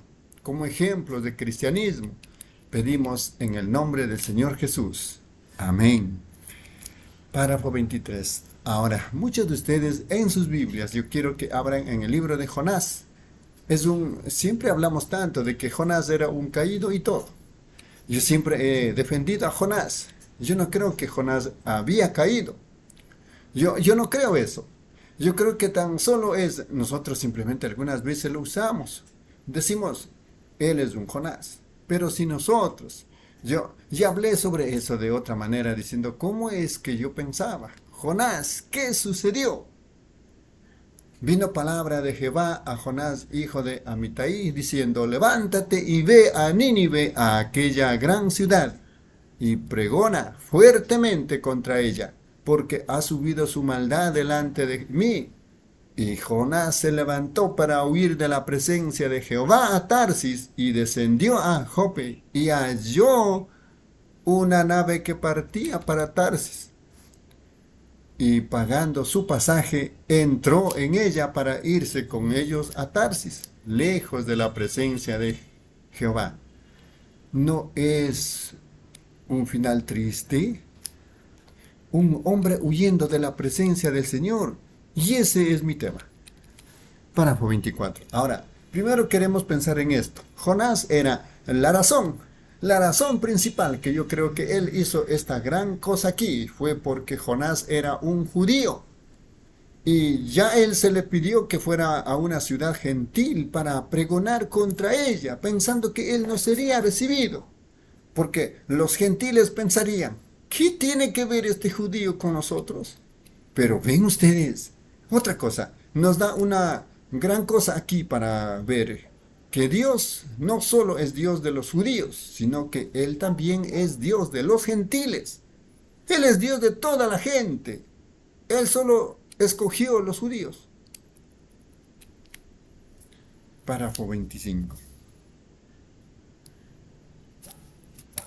Los judíos fueron llamados el pueblo escogido de Dios. Fueron escogidos para una causa específica. Y esa causa era darles a ellos la ley, y ellos no pudieron guardarla. Y él simplemente mostró por medio de ese pueblo que la ley no podía ser guardada y que él era un, un Dios de justicia. Y la ley demandaba justicia, pero no había gracia en la ley para sacar al hombre. Ninguna pena era pagada por la ley, pero se requirió la gracia para pagar esa pena o aquello bajo lo cual nos había puesto la ley. Párrafo 26. Y aquí Jonás fue llamado, como este, uno de los profetas menores de la Biblia, para ir a esta ciudad. Y aquí encontramos un ejemplo de todos nosotros. Cada uno de nosotros siempre estamos huyendo de algo. Huimos de los problemas, huimos de las responsabilidades. Nosotros todos estamos propensos a hacer eso. Nosotros, nosotros estamos, nosotros estamos más propensos a correr de lo que estamos o pararnos y enfrentarlo. Ven, nosotros simplemente, nosotros, nosotros nosotros nos encontramos huyendo. Algunas veces nos hallamos propensos a huir del trabajo. No queremos, no queremos trabajar. Algunas personas simplemente piensan que pueden ganarse la vida sin trabajar. Pero yo creo, Salomón fue el que dijo que nosotros podíamos encontrar aquí la respuesta al observar a una hormiga. Ustedes saben, una hormiguita. Me dicen que si esa, toda hormiguita no trabaja, no trabajaba y, se abastece. Esa hormiga no come ese invierno. Tampoco. Así que todo el mundo tiene que, trabajar. Amén. Para 27. Tenemos tantas cosas que tenemos que hacer, eh, tanta responsabilidad que tenemos que hacer frente. Todo el mundo tiene que hacer frente a una cierta responsabilidad. Cuando ustedes, cuando ustedes llegan a escoger a su esposa, para casarse o escoger a su esposo, ustedes, ustedes tienen que tomar una responsabilidad. Y entonces ustedes deben recordar, quizás ustedes construyen una casa, es una casa bonita y hermosa. Y entonces recuerden, como mujer casada ustedes tienen que pensar en la responsabilidad de criar hijos. Y ustedes tienen que pensar que esas paredes bonitas y lustrosas van a tener pequeñas huellas de manos sucias por todas partes sobre ellas. Además, ustedes tienen la responsabilidad de educar a, educar a sus hijos. Ustedes tienen la responsabilidad de vestirlos, de alimentarlos. Todo es una responsabilidad y es tan fácil cuando las responsabilidades nos hacen frente, rehuir de ellas. Y nos damos cuenta que el matrimonio es una responsabilidad en todo sentido. Aún muchas veces encontramos eh, difícil de decir esto, pero es verdad que ministros muchas veces rehuyen una responsabilidad de pararse por la verdadera palabra de Dios cuando ellos son confrontados con ella. Ellos rehuirán esa responsabilidad. Cuando la verdad de la palabra de Dios es traída cara a cara con nosotros, los seres humanos, tenemos, estamos propensos a rehuir hasta el último recurso. Para 28. Yo acabo de terminar de hablar con mi sobrinito allá, es un católico, y él, eh, yo bautizó a ese muchacho en el nombre de Jesucristo, aquí hace unos cuantos años, y él se juntó con una muchachita y se convirtió en católico. Y yo sostuve la mano de su madre mientras ella se estaba muriendo allá. Ella me dijo las últimas palabras, cuida de Melvin. Y él simplemente ha estado soñando sueños. Él simplemente no puede. Cara, cada día, la última semana, él ha estado soñando sueños. Dijo, entré a tu iglesia, tío Bill, y tú estabas parado allí predicando. Yo llegaba corriendo para empezar a hacer una confesión. Yo me despertaba. Él dijo, yo, yo he estado errado. Yo dije, Melvin, tú no necesitas ninguna interpretación para eso. Tu lugar es allá a donde tú perteneces. Eso es correcto. Ven, Párrafo 29. Para hacerle frente a las responsabilidades, algunas veces nos arranca la mismísima piel el hacer eso. Como padre, hacerle frente a la responsabilidad para darle al hijo de uno, de uno una paliza. a esos pequeñitos. Uno no quiere hacer eso, pero como padre o madre, uno tiene que hacerle frente a la responsabilidad de criar a ese hijo, porque la Biblia dice, detén el castigo y echarás a perder a tu hijo. Y eso todavía es bueno ante los ojos de todo psicólogo que hay en el mundo. Eso todavía sigue siendo la verdad de Dios. Si se hubiera practicado más de eso, no hubiéramos tenido tanta delincuencia juvenil y cosas y la corrupción que tenemos hoy en el mundo. Pero la antigua regla de oro del hogar ha sido quebrantada hace mucho tiempo y ellos permiten que los niños hagan lo que quieran. Párrafo 30 por último. Pero aún, como dije, ministros, ellos llegan a estar cara a cara con la verdad y luego se apartan de ella. Ven, ellos, ellos solo tienen, parece que hay algo que ellos, ellos no quieren hacerle frente. Muchas veces gente ha venido, dice, yo sé que eso es correcto, hermano Branja, pero si yo hiciera eso, ellos me echarían fuera de la iglesia. ¿Qué de ello? Si ustedes no, no lo hacen, lo van a echar fuera, allá arriba. Así que ustedes tienen que ser echados fuera en alguna parte, ¿ven? Así que más vale que lo hagan frente, en vez de correr de ello y decir, bueno, yo voy a ir acá, no voy a regresar. Regrese, seguro, escuche un poco más de ello, escudriñen las escrituras. Jesús dijo, escudriñar las escrituras, porque a vosotros os parece que en ellas tenéis la vida eterna, y ellas son las que dan testimonio de mí. Pero encontramos que la gente no se enfrenta con eso siendo traídos a, a la presencia de Dios y ver cómo, y ver cuando Dios hizo una promesa. Y Dios está obligado a esa promesa. Y cuando Él trae esa promesa a cumplimiento, entonces la gente tiene temor de hacerle frente a la responsabilidad de cuadrar con el mensaje de la hora. Encontramos eso en todas partes. Amén, amén, mis amados hermanos y hermanas, por el tiempo concluimos con este glorioso compañerismo. Ustedes compartiendo de tarde a tarde, de noche a noche, los mensajes de nuestro profeta Elías. Si Dios permite el día de mañana, continuaremos a partir de los párrafos 31 de este mensaje titulado Un hombre huyendo de la presencia del Señor. Servicio realizado en Jeffersonville, Indiana, Estados Unidos, el día 17 de febrero del año 1965. Nos despedimos, mis amados hermanos. Muchas gracias, Padre Celestial, por este privilegio, Señor, que tú nos has dado, el conocer más a, profundidad esta gloriosa palabra, este glorioso mensaje, el, el, alimento espiritual para vuestras almas, oh Padre. Alimento que fue, Señor, almacenado por nuestro profeta, porque tú le dijiste, almacena, porque habrá un pueblo detrás de ti, un pueblo predestinado, una manada pequeña, gente con percepción profética, oh Padre. Es por eso que estamos muy agradecidos por tu misericordia, Padre, por tu gracia, por tu infinita bondad que tú nos has dado, Padre. Señor Dios Todopoderoso, sabiendo de que son los últimos días, el último tiempo que estamos viviendo.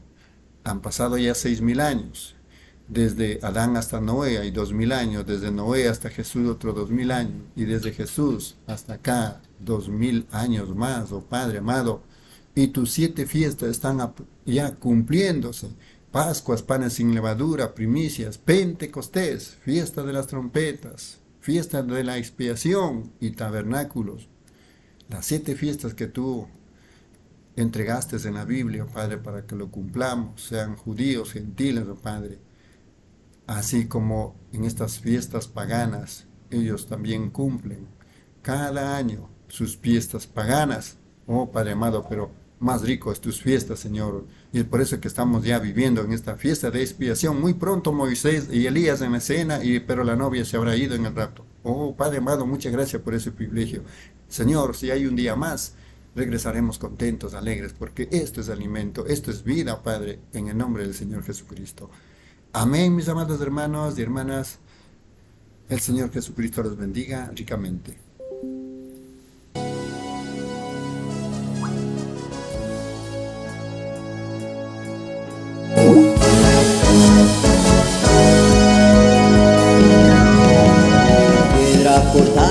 sin mano, un reino que jamás será destruido. Es el reino de los santos del Altísimo, es el reino del Real de David.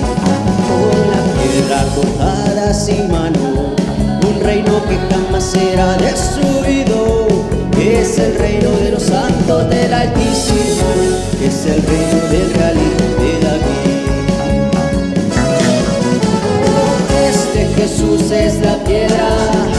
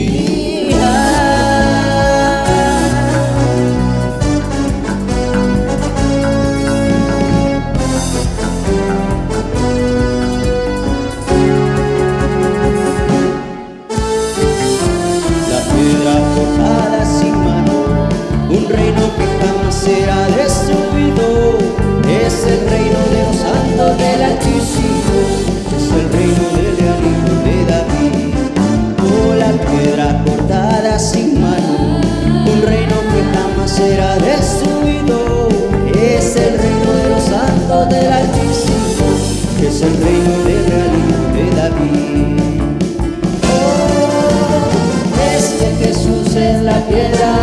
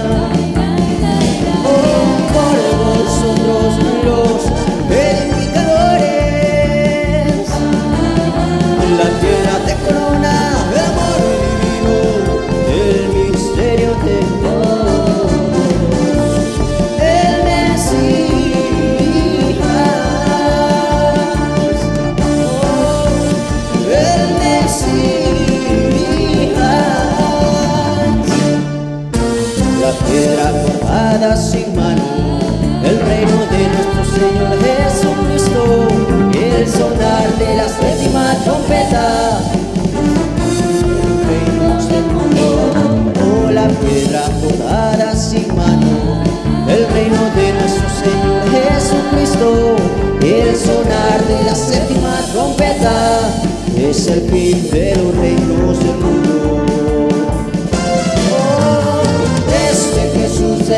piedra reprobada.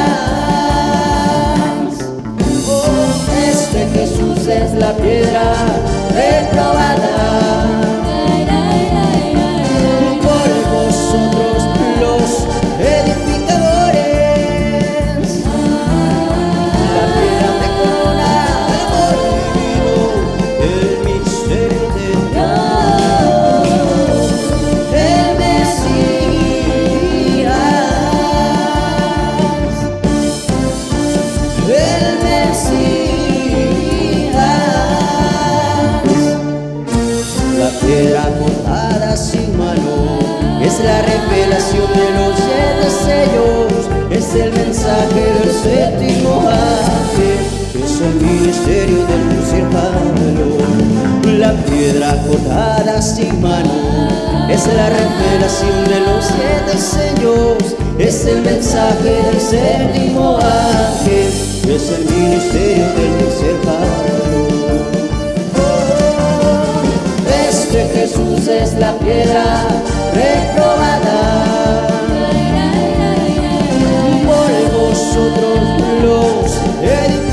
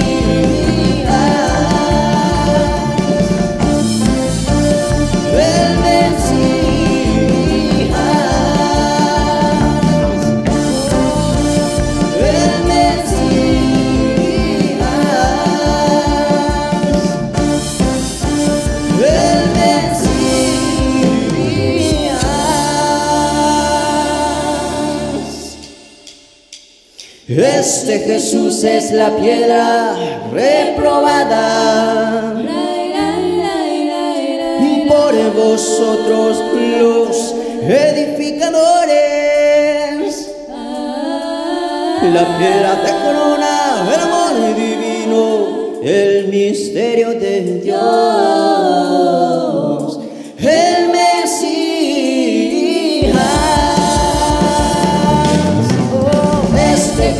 es la piedra reprobada.